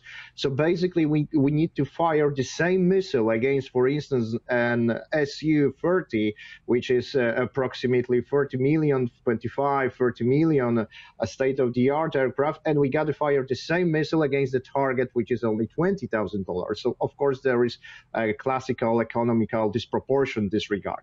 Uh, but uh, Russians are trying to use drones as uh, as swarms in order, and the swarm tactics is aiming to overwhelm the Ukrainian defenders, to overwhelm the um, directions of the attack, to mislead the Ukrainians about possible direction of the attack, and to deplete the capabilities of the Ukrainian uh, air defense.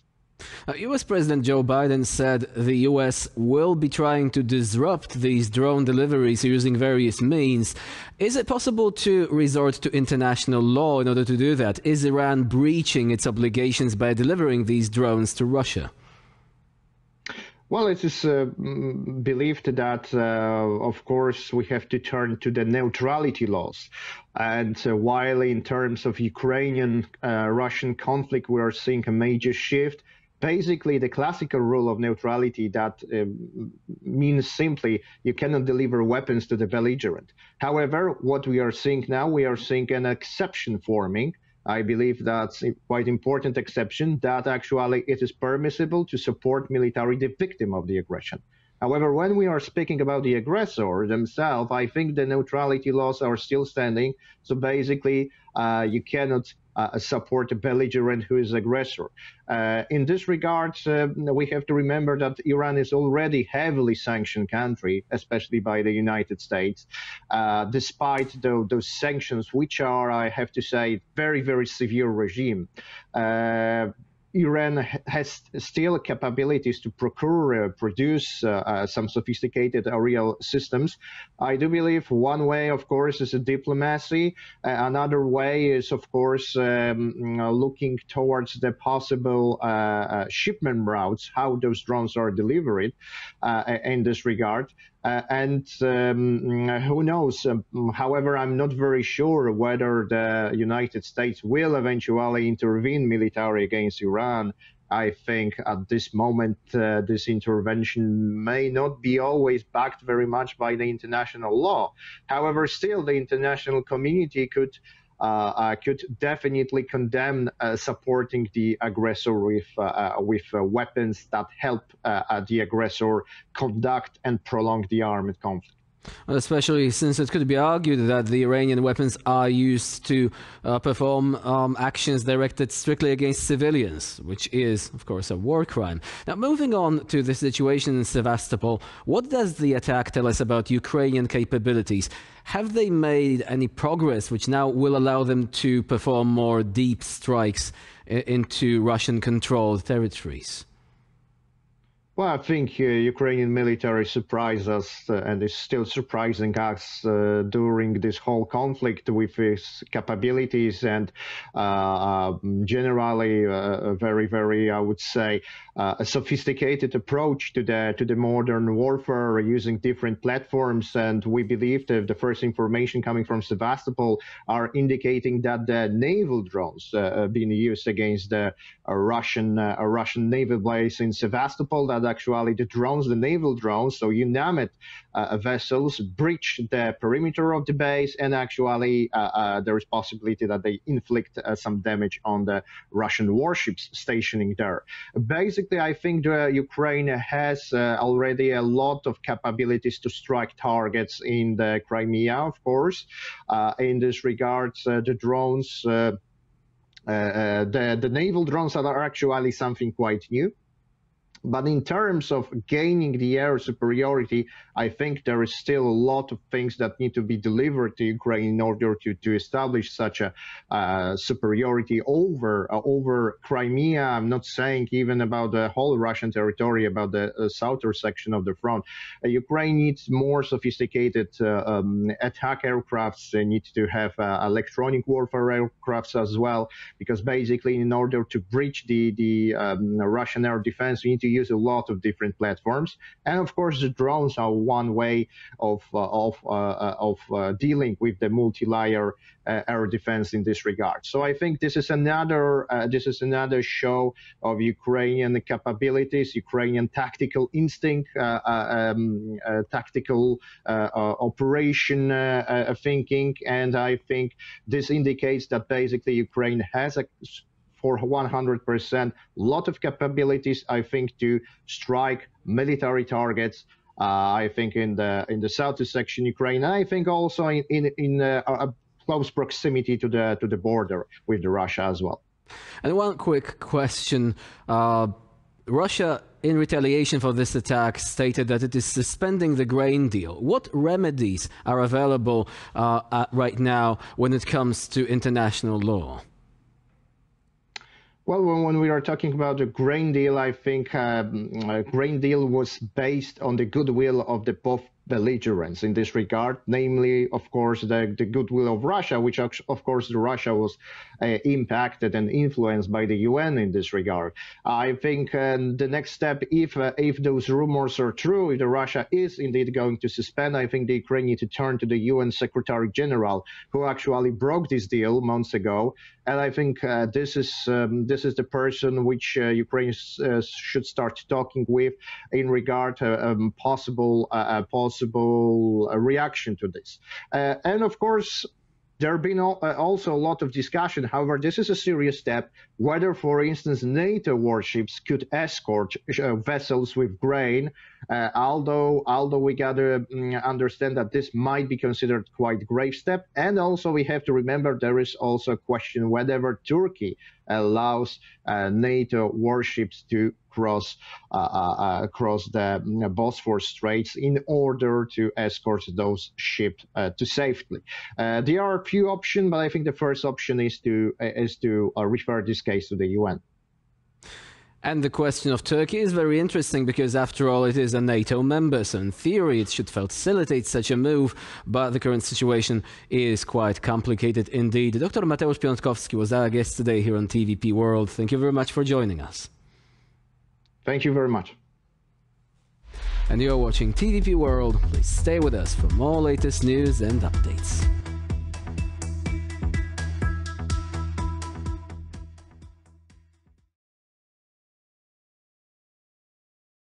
Resolution where we have, through um, military, uh, diplomatic, security effects, made it abundantly clear to Putin that he cannot prevail in Ukraine militarily, might force him um, at least into um, uh uh, finally abandoning his um, ambitions to um, stop, you know, stop Ukraine being a country, which is what it wants. That that is phase one, and, and we, we are not there yet. We spent a lot of time discussing the many challenges facing us at home, but what of the ever-growing tensions abroad? Russia's war in Ukraine continues, and the Chinese regime continues to cause concerns over both politics in Taiwan and the security of our politics here in the UK. So, how should these uh, policies, politicians, and officials be reading the constantly changing foreign policy and security landscape? Joining us now is uh, Alex Younger, who until two years ago was the chief of the Secret Intelligence Service, uh, better known perhaps as MI6. Thank you very much indeed for joining us. Uh, just want to start by asking you about all the various stories about Liz Truss's phone being hacked by the Russians, about Suella Braverman uh, not following protocols uh, concerning secrecy as a cabinet minister. What is your understanding of what should be expected of uh, ministers and indeed prime ministers in terms of uh, their official uh, work and their uh, contacts in, in in the electronic media? Well, I think there's a broader issue here, and I encourage us not to be throwing too many stones at the moment about the general levels of cybersecurity uh, that exist around the, all of the critical functions in our country. Um, levels of education aren't high enough, um, and I don't think people are, are focusing enough on, on the risks to uh, their security and their devices because these are hidden threats that aren't properly understood. I think that's as true of ministers as anyone else, and there's a premium on making sure that they're properly educated. And then there are a set of rules, of course. I don't know uh, the detail of these cases, and I can't really say one way or the other what the transition or any transgression might have consisted of.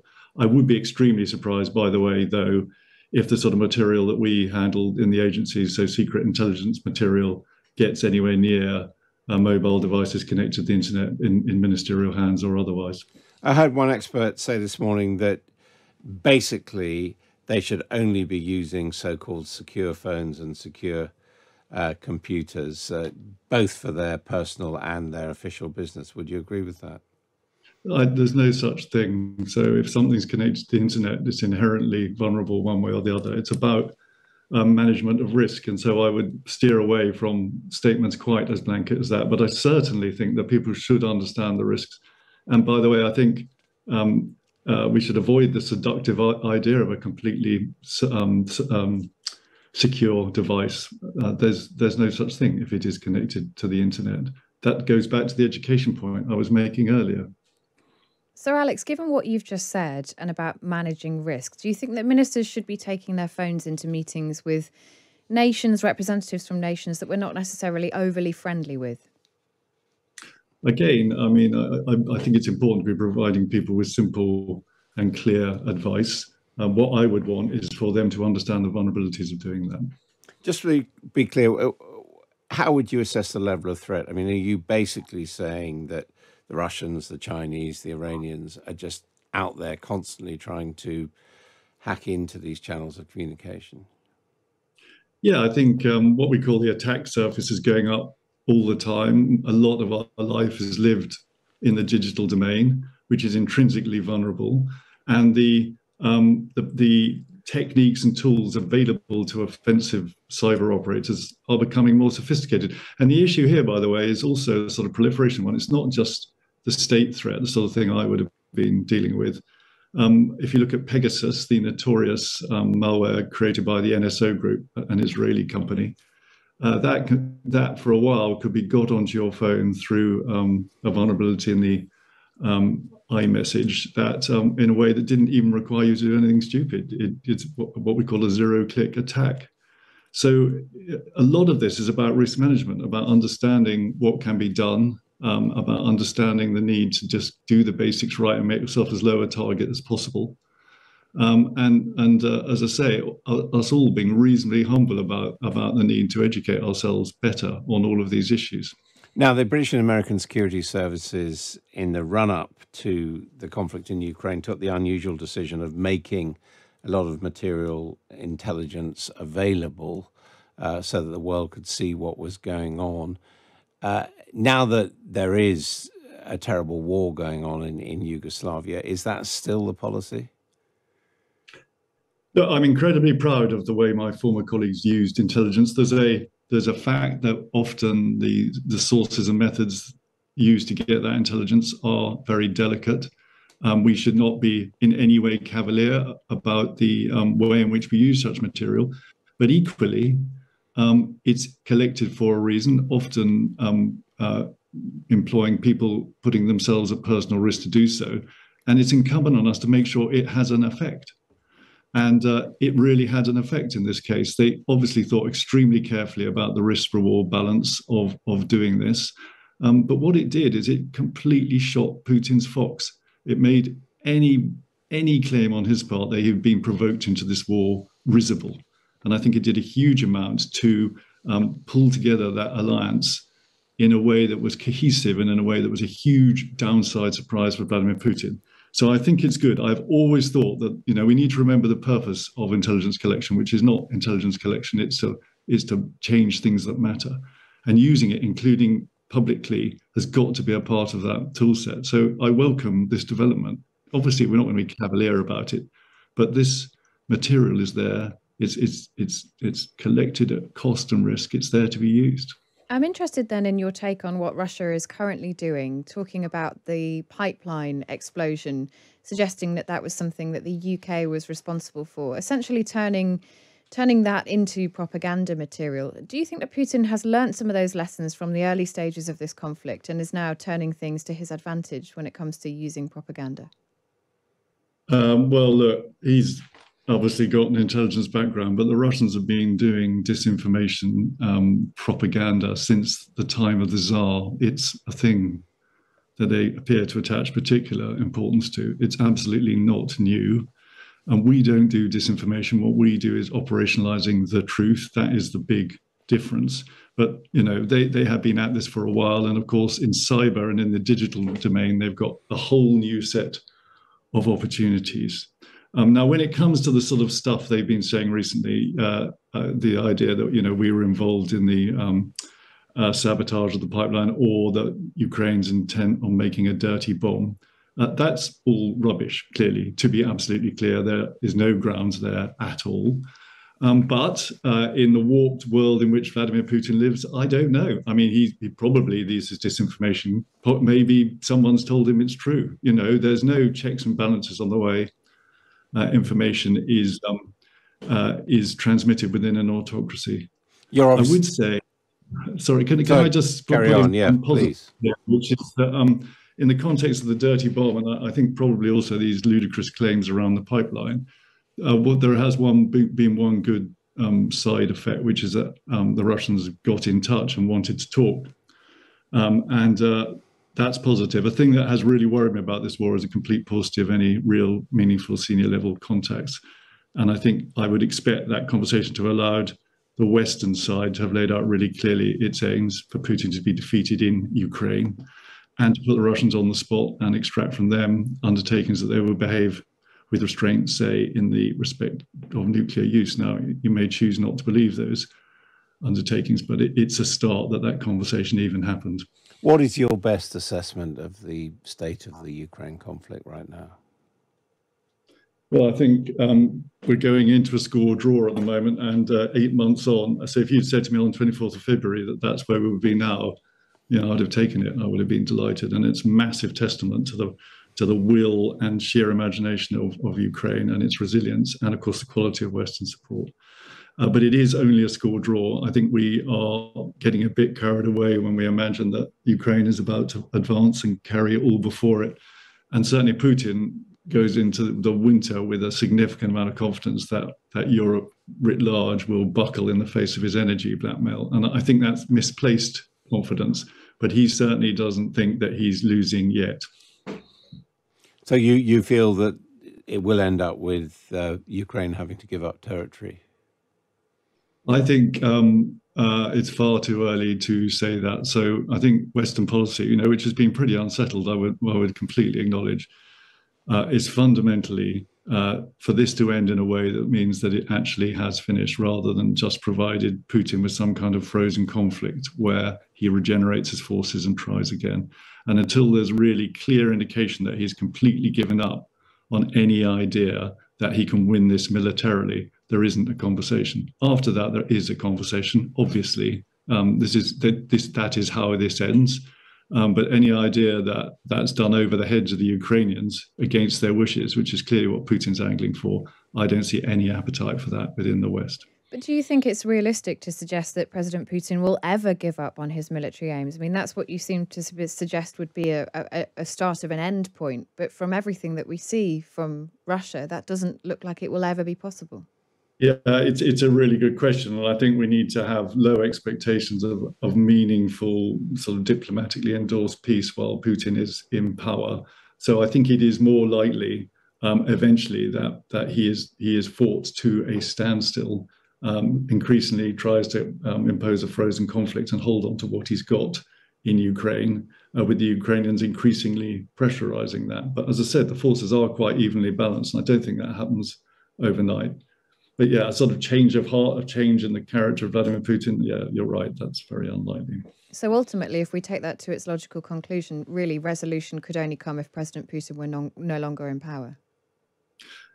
I think um, resolution that that's, that augurs um, Russia's reintegration into the international community, the full lifting of sanctions, etc. That's absolutely true resolution where we have, through military, uh, diplomatic, security effects, made it abundantly clear to Putin that he cannot prevail in Ukraine militarily, might force him um, at least into um, uh, uh, uh, finally abandoning his um, ambitions to um, stop, you know, stop Ukraine being a country, which is what it wants. That that is phase one, and, and we, we are not there yet. Finally, you you talked about the case of Russia being allowed back into the international community. Do you think really the story of the next few decades is going to be so-called decoupling with uh, both in the tech area uh, and militarily, basically uh, the West retreating back into its shell uh, and becoming effectively the competitor with China, Russia, well, I, I, agree with the first half of that statement, and it's important to notice that I'm old enough to remember at the end of the Cold War, we thought democracy was the answer, and the only question was how long it was going to take everyone to catch up. It's now obvious that was massively over optimistic, and the world is diverging into different blocks, and there's a competition between value systems, and that is going to end uh, in a degree of decoupling in key areas, strategic areas like data and, and high technology. Retreating into our shell, I would really reject that. This is the West's opportunity to remember what it's for, double down on its strengths, renew its alliances, empower its innovation. These that doesn't sound very much to me like retreating into our shell. On the contrary, I think there's an opportunity here, boosted by the really extraordinary cohesion shown in Ukraine, to actually get our act together. That sounds like it would be quite expensive, though. Would you look to the government to invest in those kind of ambitions? 3% defence target, for example, maybe even more than that? No, I think, um, I, I, mean, maybe, but uh, I, um, uh, I think that the things that I want to see happen, most importantly of all, maintaining our capacity to innovate technically faster than our authority and rivals, isn't just not expensive. The alternatives are very expensive, becoming completely dependent on um, products, goods, and services and data provided from other regimes. That sounds very expensive to me. And finally, I have to ask you that there was a story in the last fortnight of RAF fast jet pilots recruited recruited to help train Chinese counterparts. Uh, are you concerned about that? Well, I don't know the truth of that, but clearly, if that's true, it shouldn't be happening. Sir Alex Younger, thank you for joining us on Sunday morning. Welcome to our program, and uh, today I welcome my guest. Uh, it's Nathalie Tocci. It's a political scientist and director of the Istituto Affari Internazionali at Vienna. That, Am I right? That is in Rome, in Rome, but in Rome. it's perfectly pronounced. Okay. I'm very impressed. Okay, I tried before, so I tested myself. Anyways, we talk a lot about Ukraine everywhere on television, but today. Um, including your uh, experience, I would like to know a little bit more about Europe and what's going on in Europe right now. And I'd like to start uh, from uh, the uh, your latest article in Politico that I read. Uh, in this issue, you conclude that uh, while the United States can ensure that Russia loses this war, only the European Union can ensure Ukraine wins it. And for this, it needs to do more. So can you please point the top changes uh, you noticed in Europe's perception of Russia in uh, European Union and around the world of, I'd say, big politics uh, since the 24th of February? Well, well, firstly, it's a real pleasure to be on uh, on this show. I'm very, very happy to, to be here. I mean, I would say that as far as views on Russia are concerned, um, Europeans are actually not divided. I mean, you know, Russia used to be probably one of the most divisive subjects in, uh, in European foreign policy, uh, with countries like my own, Italy, that tended to be rather supportive of Russia, countries in Eastern Europe that used to traditionally be very uh, skeptical. So it was always a very divisive subject. Um, I think that beginning on, you know, 24th uh, of February, uh, that has changed. And, and I think that has changed for good. Uh, what I mean by this is that you will not find anyone in Europe that actually, at least overtly, explicitly supports Russia. So that's kind of game over. Now, what you do find in Europe, of course, are different views. And these different views relate, I would say, not so much uh, to, you know, hey, don't we, you know, sort of, do, do we support Putin? No one really does. I mean, perhaps, you know, very, very small minorities here and there. But, uh, you know, I would say that there are elements of European public opinion and to an extent, perhaps, uh, some governments that are, I would say, particularly tempted by point number one, the how can I put it? The allure of peace, the sirens of peace. Mm-hmm. Peace, peace, peace. And of course, peace in this particular context uh, tends to then translate into, well, the war must stop now. And for the war to stop now, of course, this also entails that Ukraine must stop uh, in its liberation campaign. So, in a sense, covered, quote unquote, with the language of peace, and you know, who's against peace? No one can be against peace. Uh, you then tend to have, in a sense, some pro Russian views that tend to come in back through the back door. I would say that a second set of uh, sort of concerns, uh, which then again, not explicitly, but in a sense implicitly, uh, risk going into, in a sense, uh, a, a Russian narrative, is obviously everything surrounding the energy crisis, the uh, economic crisis, uh, and and therefore the idea of which again is, is an illusion. You know, the idea of if only the war were to stop, we could go back to the good old days. Now, the good old days uh, were not that good, and they're certainly gone. Uh, but I would say that, again, amongst some quarters of European public opinion, you would tend to have, you know, this question of, uh, you know, I get it a lot on social media. I mean, every time since the beginning of the war, you know, initially obviously speaking out very strongly um, in favor of energy sanctions, uh, now, you know, really sort of holding the line, saying, you know, these sanctions have to uh, be there, they have to strength, be strengthened. They certainly uh, cannot be removed. You know, you would get sort of, you know, people on social media coming out at you and saying, hey, you know, are you going to be paying my energy bills, therefore? Mm-hmm. So you would have, in a sense, both through that energy angle and through the peace, uh, if you like, angle, some pro Russian views that kind of creep back into the debate. Now, having said all this, do I therefore think that these views are going to prevail uh, or that they're going to lead uh, Europe to actually reduce its support for Ukraine? Absolutely not. I mean, I here on screen put my hand, well, I don't put my hand, but I, you know, figuratively put my hand on fire, you know, sort of very confident that um, it will not lead to a reduction of, of support uh, for Ukraine. Now, the argument, uh, coming back to my Politico piece, the argument that I make in that piece is that it's not good enough not to reduce support. the point is that actually we have to increase the support uh, we provide for Ukraine.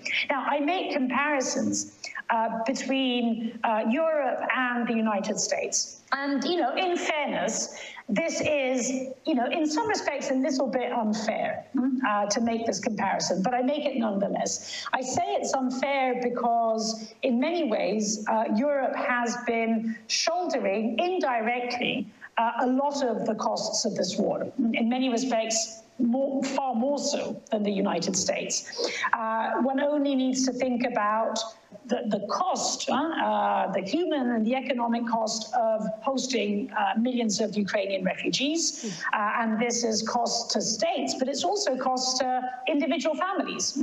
Uh, you know, my own family, we've been hosting a, you know, a Ukrainian family uh, since March of, of this year. So there, there is that, and there's a lot of that obviously going on, which obviously is far more you know, prominent in Europe compared to the United States. And then, of course, there's also the cost that is much higher in Europe of the energy crisis. Mm-hmm. You know, yes, in the United States, you know, sort of uh, uh, Americans complain about the high uh, gas prices at the petrol station. But if you look at the differences, I mean, there's literally no comparison uh, whatsoever. And of course, we know that those rising energy costs are a consequence of Russia's weaponization uh, of energy, which is part and parcel of, of this war.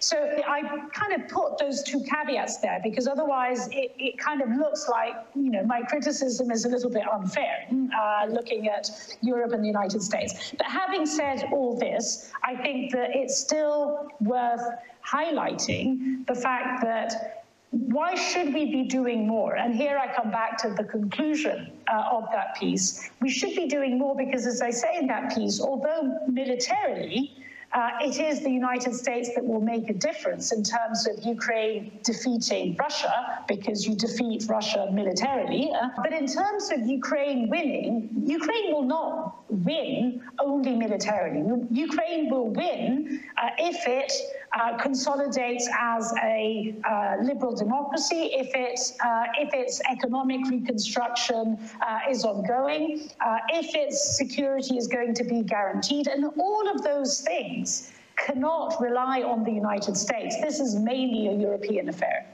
I see. But uh, talking about uh, the attitude of people, of the societies of different countries of uh, the European Union, we understand that uh, first, uh, each country has uh, its own abilities to help Ukraine. I mean, there's difference in economical situation among the countries of European Union. And the second thing is the informational fields that we have for different countries of European Union. I mean, uh, you're talking about the energetic crisis and the prices that are rising and people thinking about it, people not afraid to be cold in winter, they're afraid uh, to not be possible to pay for these energetic uh, needs and so on. So do people of Europe, it doesn't matter, Western Europe or Eastern Europe, really uh, understands the depth that you just uh, told me. I mean, not only we have to win Russia uh, because uh, it will save our nation, but because we are really defending European uh, values. So do these people understand, do this enough uh, informational messages in press, in social media, in European countries? And who is making this informational field? Well, I think, you know, some countries obviously do very much. I mean, you know, those countries in Eastern Europe uh, that have been also exposed to kind of Russian and, and Soviet colonialism uh, uh, have very clear in their mind that, uh, what this war is all about. So I would say that countries in Eastern Europe, um, both governments and public opinion uh, is very, you know, are very clear on all of this. Um, of course, you know, we can, you know, look at Hungary and countries like, you know, Bulgaria, obviously being slightly different in this respect, but by and large, I would say that this is understood. Now, you know, countries in, in Western Europe, in Southern Europe, um, I would say that broadly speaking, governments understand it. Mm-hmm. Uh, so, you know, whether this is uh, Italy or France or Spain or Germany, I think governments understand it. Uh, you know, governments then obviously have to deal with all of the complexities of, and therefore, what does it mean to understand it? Uh, because, of course, you obviously need to, um, you know, sort of policy is made of, of, of, choices and, and kind of, you know, difficult choices at times. You want to support Ukraine, but you need to ensure that your uh, citizens are able to pay their gas bills, uh, and that requires money. Uh, so it's kind of, you know, how do you allocate the funds that you have available? So I think governments understand the stakes which of course does not make, uh, if like solutions, easy solutions, but they understand that they need to find them. I would say that public opinion in uh, countries that are further away from the front lines, so countries in Southern Europe, countries in Western Europe, I would say that they understand that, that this is a war that is about values. I think they do understand it. Uh, I think the question becomes trickier when it then translates into, and therefore, what is the price that you are willing to pay uh, in order to defend uh, those values? And, you know, I mean, one thing is governments, one thing is, you know, experts, uh, foreign policy people, in a sense, like, like myself.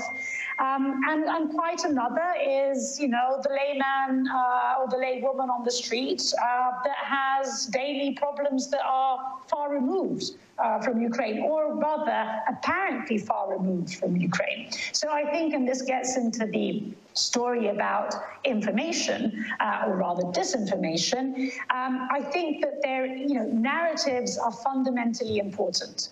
That lay man or lay woman on the street uh, needs to understand that this is not about values in a kind of abstract sense, hmm, uh, because their economic prosperity, their uh, freedoms, their security, and their ability to pay gas bills as well, mm-hmm. this is actually fa- fundamentally connected to not only this war, but this war that needs to be won, you know, in, in, in a particular way. So, you know, this is where uh, information comes in, but then also where disinformation comes in, uh, because it's, you know, it's not just about getting the facts out, it's about getting the story out. It's about getting the narrative right. When you say that governments understand, uh, I uh, would like to go to the uh, some past interviews of you, and I found some interesting quotes uh, from the internet. So I will quote the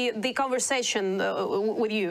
So Europe will not risk its stability and habitual way of life, warmth and of homes, and the work of industry because of the country that doesn't even exist. It's how Putin showed Ukraine before in an informational war. So Putin has been preparing this informational not only for his population, but also for European society that affects decisions in the European Union parliaments and with the money raining on the politicians that allowed him all these manipulations through years. So my question is whether all these politicians uh, were aware of what they are doing or that uh, they uh, just were very blind and simply illiterate, that they as well believed in all these words of Kremlin and uh, counted the gifts in euros and dollars from Putin's hands. And really situation changed right now. So do you see the politicians that were corrupted by Russian money are opened now and they're not at the power right now? So I would kind of, you know, obviously these things are, are connected, but I would uh, make the distinction between, um, in a sense, the, in a sense, there's a sort of a, the distinction between the values and the interests. Huh? I mean, they're obviously interrelated, but, but they're slightly different stories.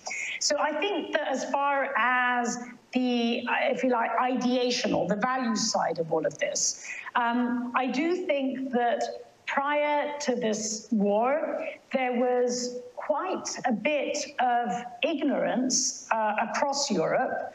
Uh, and by the way, I think actually in the United States too, for reasons that I'll come to in, in a moment, about um, how much the Ukrainian nation had actually developed in recent years. Um, you know, there was a widespread assumption in the months leading up to the war, where, as we know, US intelligence, uh, UK intelligence were really making, you know, the case of, hey, you know, a war is about to start. Um, but there was, uh, which of course was, was right, uh, but where I think everyone in the West, including the United States, got it very wrong was in assuming that Ukraine would not hold up. Now, that assumption, which turned out to be, of course, a wrong assumption, you know, one has to sort of try and understand why was that assumption so wrong? So, on the one hand, of course, one can say, well, because obviously there was an overestimation of Russia's military capacities, which I think is one side of the story. But I think the other side of the story, which gets to this ignorance uh, point that I wanted to highlight, is that there was an underestimation of Ukrainian resilience. And there was an underestimation of Ukrainian resilience because, of course, without buying completely the Russian narrative of the Ukrainian nation doesn't exist, so without going that far, there was still some doubts as to, you know, to what extent, you know, is Ukraine, you know, is Ukraine and Ukrainian identity really strong enough uh, to stand up to Russia? Uh, so, you know, propaganda doesn't necessarily, you know, and disinformation doesn't necessarily mean that you buy 100% of the rubbish that is being mm-hmm. sold to you. But if you just buy 20%, you know, that's, uh, that's also a problem. So I think there was, I would say, ignorance in, in that respect. And I think that indeed the way in which uh, the war has gone, particularly the way in which Ukraine uh, resisted in those very early days of the war, uh, really kind of, they, they, really led to a, a very abrupt change in, in European uh, perceptions and, of course, American uh, perceptions too. Then I think there's the, um, in a sense, the, the, commercial interests, perhaps the, the corruption. I mean, you know, the, the interests part of, uh, of this story. Now, I would say that, you know, even eh, without getting into corruption, um, there were obviously uh, quite a lot of commercial interests going on. Uh, and, you know, so that it is true that uh, Europe was hooked on cheap Russian gas you know, one that was not corruption. Uh, it was basically a kind of commercial uh, relationship uh, that was thought of as being a win-win for both. And this is something that you know dates back from Ostpolitik, and it dates back from from Cold War uh, days. Yes. Uh, and I think progressively, as time went on, the convenience of that relationship made us as Europeans increasingly blind to the fact that this was not just a commercial relationship. The time would come, and in fact, the time came, when that relationship, as we now see, became weaponized. And so, in many respects, we are now paying the price of the blindness. So I highlight this because I think this is the main story. Yes, you know, maybe on the margins there's some corruption here, corruption there, but I think the main problem, in a sense, was not seeing that the economic and energy relationship between Europe and Russia was not just economic and uh, and energy, but it was really very you know political, politicized and securitized. But unfortunately, there were at least two times uh, when it was time to pay attention to this alarm. First, uh, when uh, Russia manipulated with gas, it was, uh, if I'm not mistaken, 2007 year. 2000 when... exactly 2006 yes. and 2009 again, yes. and we didn't do yes. anything. And next time when uh, all of uh, our parliament uh, uh, members and our neighbor countries from Western Europe were shouting out not letting Putin build this northern pipe too. so nobody listened to it. And backing to the quotes from the interviews against with you, I see one more quote. Europe made two global mistakes. One, bet on the hope for security from the United States since uh, 1945. And the second one is belief in energy security supported by Russia and building this Northern Stream altogether. It's like commercial project. But uh, anyways, uh, all of the countries with normal psychic, they were thinking that it's commercial and it's uh, for the future interest, but not about schizophrenic dreams of some sick dictator. So uh, now you see Europe uh, fixes these two main mistakes? Well, I would say, in fact, I think there are three, uh, like dangerous dependencies. I think there's the energy dependence, uh, of course, with, with Russia. There's the defense dependence on the United States, and there's the economic dependence on China. Yes. Uh, and I think all these three things are, you know, sort of similar but very different stories. So I'm where I'm very optimistic is is actually uh, on Russia. uh, I think that the die is cast on, you know, I think that the energy, Europe's energy dependence on Russia is game over. If you think of it, it's really quite surprising that in seven months, um, we have gone down from 40% of gas dependence on, uh, uh, on Russia to around 9% in seven months. Uh, oil is basically when the embargo kicks in at the end of this year, will go to zero. So, you know, this is really a, a, kind of Copernican revolution that has happened in, in seven months. And there isn't a world in which let's say the war ends tomorrow morning, yeah? Even if the war were to end tomorrow morning, Europe is not going to go back to that energy dependence with Russia. Because now that it is clear that energy, that it was not, as we were saying earlier, just a commercial relationship, mm-hmm. uh, but that it was a, a politicized and securitized relationship, there is no way that European companies, European governments are going to go back. It's, it's game over. Uh, so on that, I'm actually very optimistic. Excuse me, it's uh, we're talking about if uh, Putin stays but war stops, or if uh, the political system changes in Russia. nothing to, will to be honest, okay. I think it's too late now uh, because it is, you know, we, we are now suffering so much the consequences of, of, of what has happened that there's no trust anymore that Russia is a reliable energy provider. Uh, that is that credibility has gone, whether it's Putin or whether it's someone else. Uh, I mean, you know, unless Russia tomorrow morning becomes a shining liberal democracy, but that is far less likely even than the war ending tomorrow morning. I mean, that's just not going to happen, right? So I, I think on energy, it's going to be painful uh, because it's happened in a very rapid way, but I think it's irreversible. Where I think the story is more mixed is uh, our economic dependence on China. The United States is going to push us very much uh, in terms of loosening that relationship. I think that we as Europeans, especially since the pandemic, understand uh, that you know, this is not just an economic relationship, but again, it's an economic relationship with a strategic edge. So I think even without uh, US persuading, um, we would be, in a sense, we, we want to be more cautious. And I think the point is how to find a new balance in a sense, between security and efficiency, between security and, and prosperity. And I think that's a new uh, balance that will need to be found. Where I'm less optimistic is actually on defense. Now, it is true that uh, Europe is waking up on defense. Uh, it is spending more on defense um, as a consequence of, of this war, and, and finally, this is happening. But it doesn't mean that our dependence on the United States is actually reducing. It is actually increasing. Uh, and it's increasing because as we buy military equipment, a lot of this equipment is American.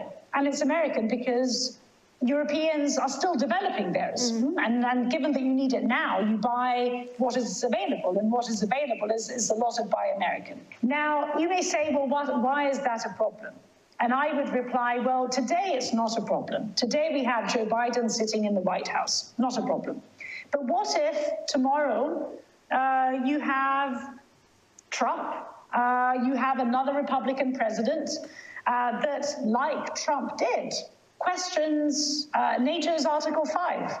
Where would it leave us, you know, at a time in which we are, of course, you know, you, Ukraine, you're on, in a sense, the front line, but this is a war. I mean, Russia is de facto at war with Europe as a whole um, by sabotaging critical infrastructure, by weaponizing energy, by, you know, cyber, I mean, you know, all of the other aspects uh, of, of this war. So I think the depend, defense dependence on the United States uh, continues to be, I think, a real real reason for concern. And I would add, I think it should be not only a reason for European concern, I actually think it should be a reason for American concern as well. Mm -hmm. uh, talking about China, I've heard uh, an interesting question uh, from the audience, so I will just uh, repeat it. The longer the war, the greater the benefit to China, financial and political. All Russia's energy resources go there instead of the U European Union, and Russia is completely dependent on China. So we're going back to bipolar world, and what role Europe will play in this bipolar world? I think it's a really, really good question. Um, now, you know, I think you can one can look at it in different ways. So, on one level, I think yes, it's absolutely correct. China, in many ways, has been benefiting. Uh, from uh, uh, from this war. It is getting quite a lot of Russian oil at a very big discount. Now, I don't think that China is going to be getting the Russian gas that Russia no longer sends to Europe because gas, unlike oil, requires the building of infrastructure. And this, if it happens, it will happen in a long time. I think there's then a long-term question about, you know, on the one hand, one can make the argument that China is going to benefit from Russia basically being a very, very diminished country. Uh, economically, strategically, militarily, energetically, I mean, in all possible ways. And, you know, essentially, uh, Russia is going to be sort of, you know, China's junior cousin. Now, I think on one level you can say that. On another, it really depends on, on what happens in this war. I mean, what happens to Russia? Because if Russia, in a sense, kind of turns into a massive North Korea, to what extent and, and what are the political implications in Russia itself over time? To what extent is this not a burden actually to China as well? Question mark. So I think it largely depends on how exactly Russia is going to develop as a consequence of what is happening now uh, with, with the war. And then I would say, in terms of the question of kind of, you know, is this a new bipolarity? I think yes, in the sense that it is very clear that the world, you know, to put it a la Joe Biden, you know, is kind of divided between democracies and autocracies. Although I also think that this is not going to be like the Cold War. I mean, during the Cold War, bipolarity was really two blocks that were separate and hardly connected with one another. I think that for all the talk of decoupling that we were talking about earlier, there's always going to be a degree of interdependence uh, in this new bipolar uh, world. There isn't going to be just the United States and uh, China. There's also going to be Europe. There are going to be other powers. So it's not going to be a kind of, you know, a replica of the Cold War, but based on Ideal not, not, not ideological. It will be more uh, commercial economic, uh, I mean, uh, environmental in, questions in, like this. Exactly. Right? In, in some areas, like indeed climate, there will need to be cooperation. In other areas, like defense or mm. Even digital, probably very little cooperation. I mean, those areas that are more connected to security are probably going to see a greater separation. Okay, then a few more questions, if you please. Uh, I would like to understand uh, the uh, your view on the uh, mobility of the European Union, and if you uh, look back uh, when everything started, I've heard, read today again the speech of Putin on in Munich in 2007, when actually he pronounced everything that he planned that he's gonna do actually yes. No, nobody paid attention on this. This. And uh, do you think uh, it could happen if it wasn't European Union but different countries of Europe? Because uh, it started like economical union, then it, be it became the, the, real political, economical, uh, geopolitical union. So could it happen if it was separate countries? Could he win the attention of politicians and could throw all this money into different countries? And uh, uh, on the example of Great Britain that made uh, Brexit and now is very, very effective in helping Ukraine because it's uh, much more movable. So maneuver they can do without all this bureaucracy. So they decided that they do it. So how movable and how free in uh, the moves now European Union? And will it change its bureaucratic basis that uh, uh, stops to do fast decisions? Well, I would say that, um, look, let me put it this way. It's an old colonial tactic, divide and rule. So it is very clear that if you are Russia looking at Europe, if you are China looking at Europe, you have an interest in Europeans being divided. If Europeans are united, there's a critical mass, strategic, economic, political, etc., power that makes it extremely difficult, basically, for uh, uh, an external adversary like Russia to, to divide you.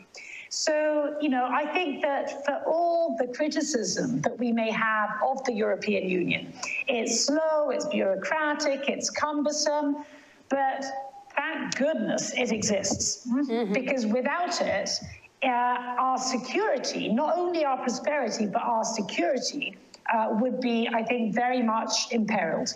And indeed, you know, one only needs to look at what is happening in the United Kingdom these days to realize what an absolutely catastrophic decision Brexit was.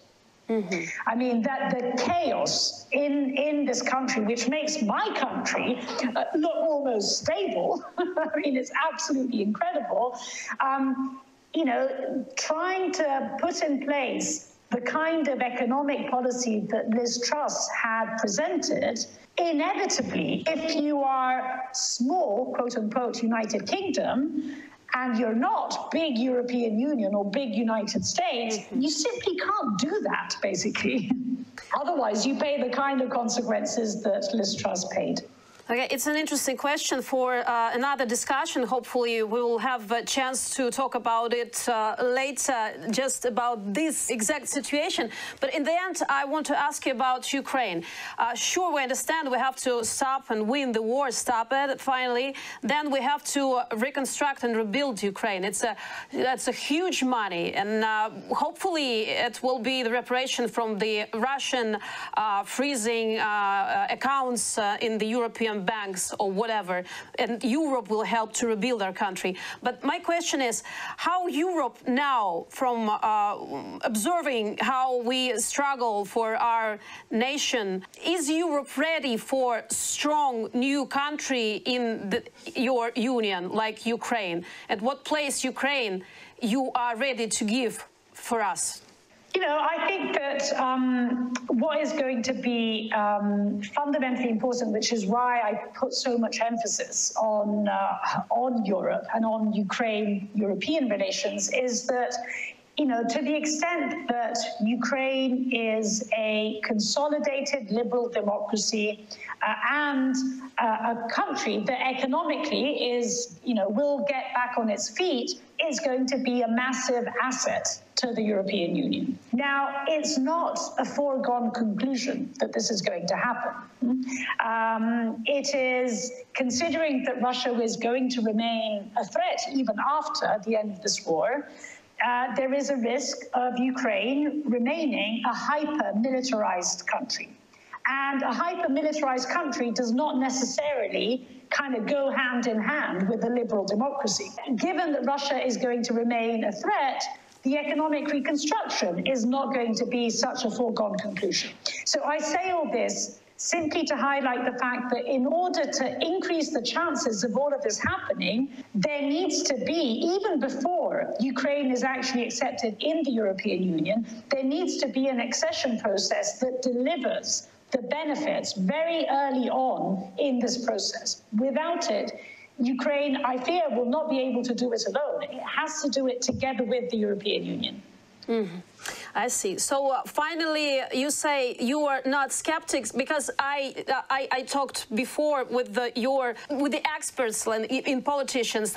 I've heard a lot of skeptical points of view that uh, as long as the war stops, uh, they more think that uh, the previous status quo will go back. So you are not skeptical. You are optimistic no, on this question. No, I'm I'm absolutely sure about this. I mean, uh, there's no going back to the past the future is not necessarily rosy, but there's definitely not going back to the past. This is where why I wanted to stress at the end of our conversation. I thank you very much for finding time for us and for thank our, you. Thank you. For our audience, I uh, remind that uh, we were talking with Nathalie Tocci, uh, director of the Istituto Affari Internazionali, and uh, the political scientist, and uh, hopefully we'll get a chance to talk more. Thank you.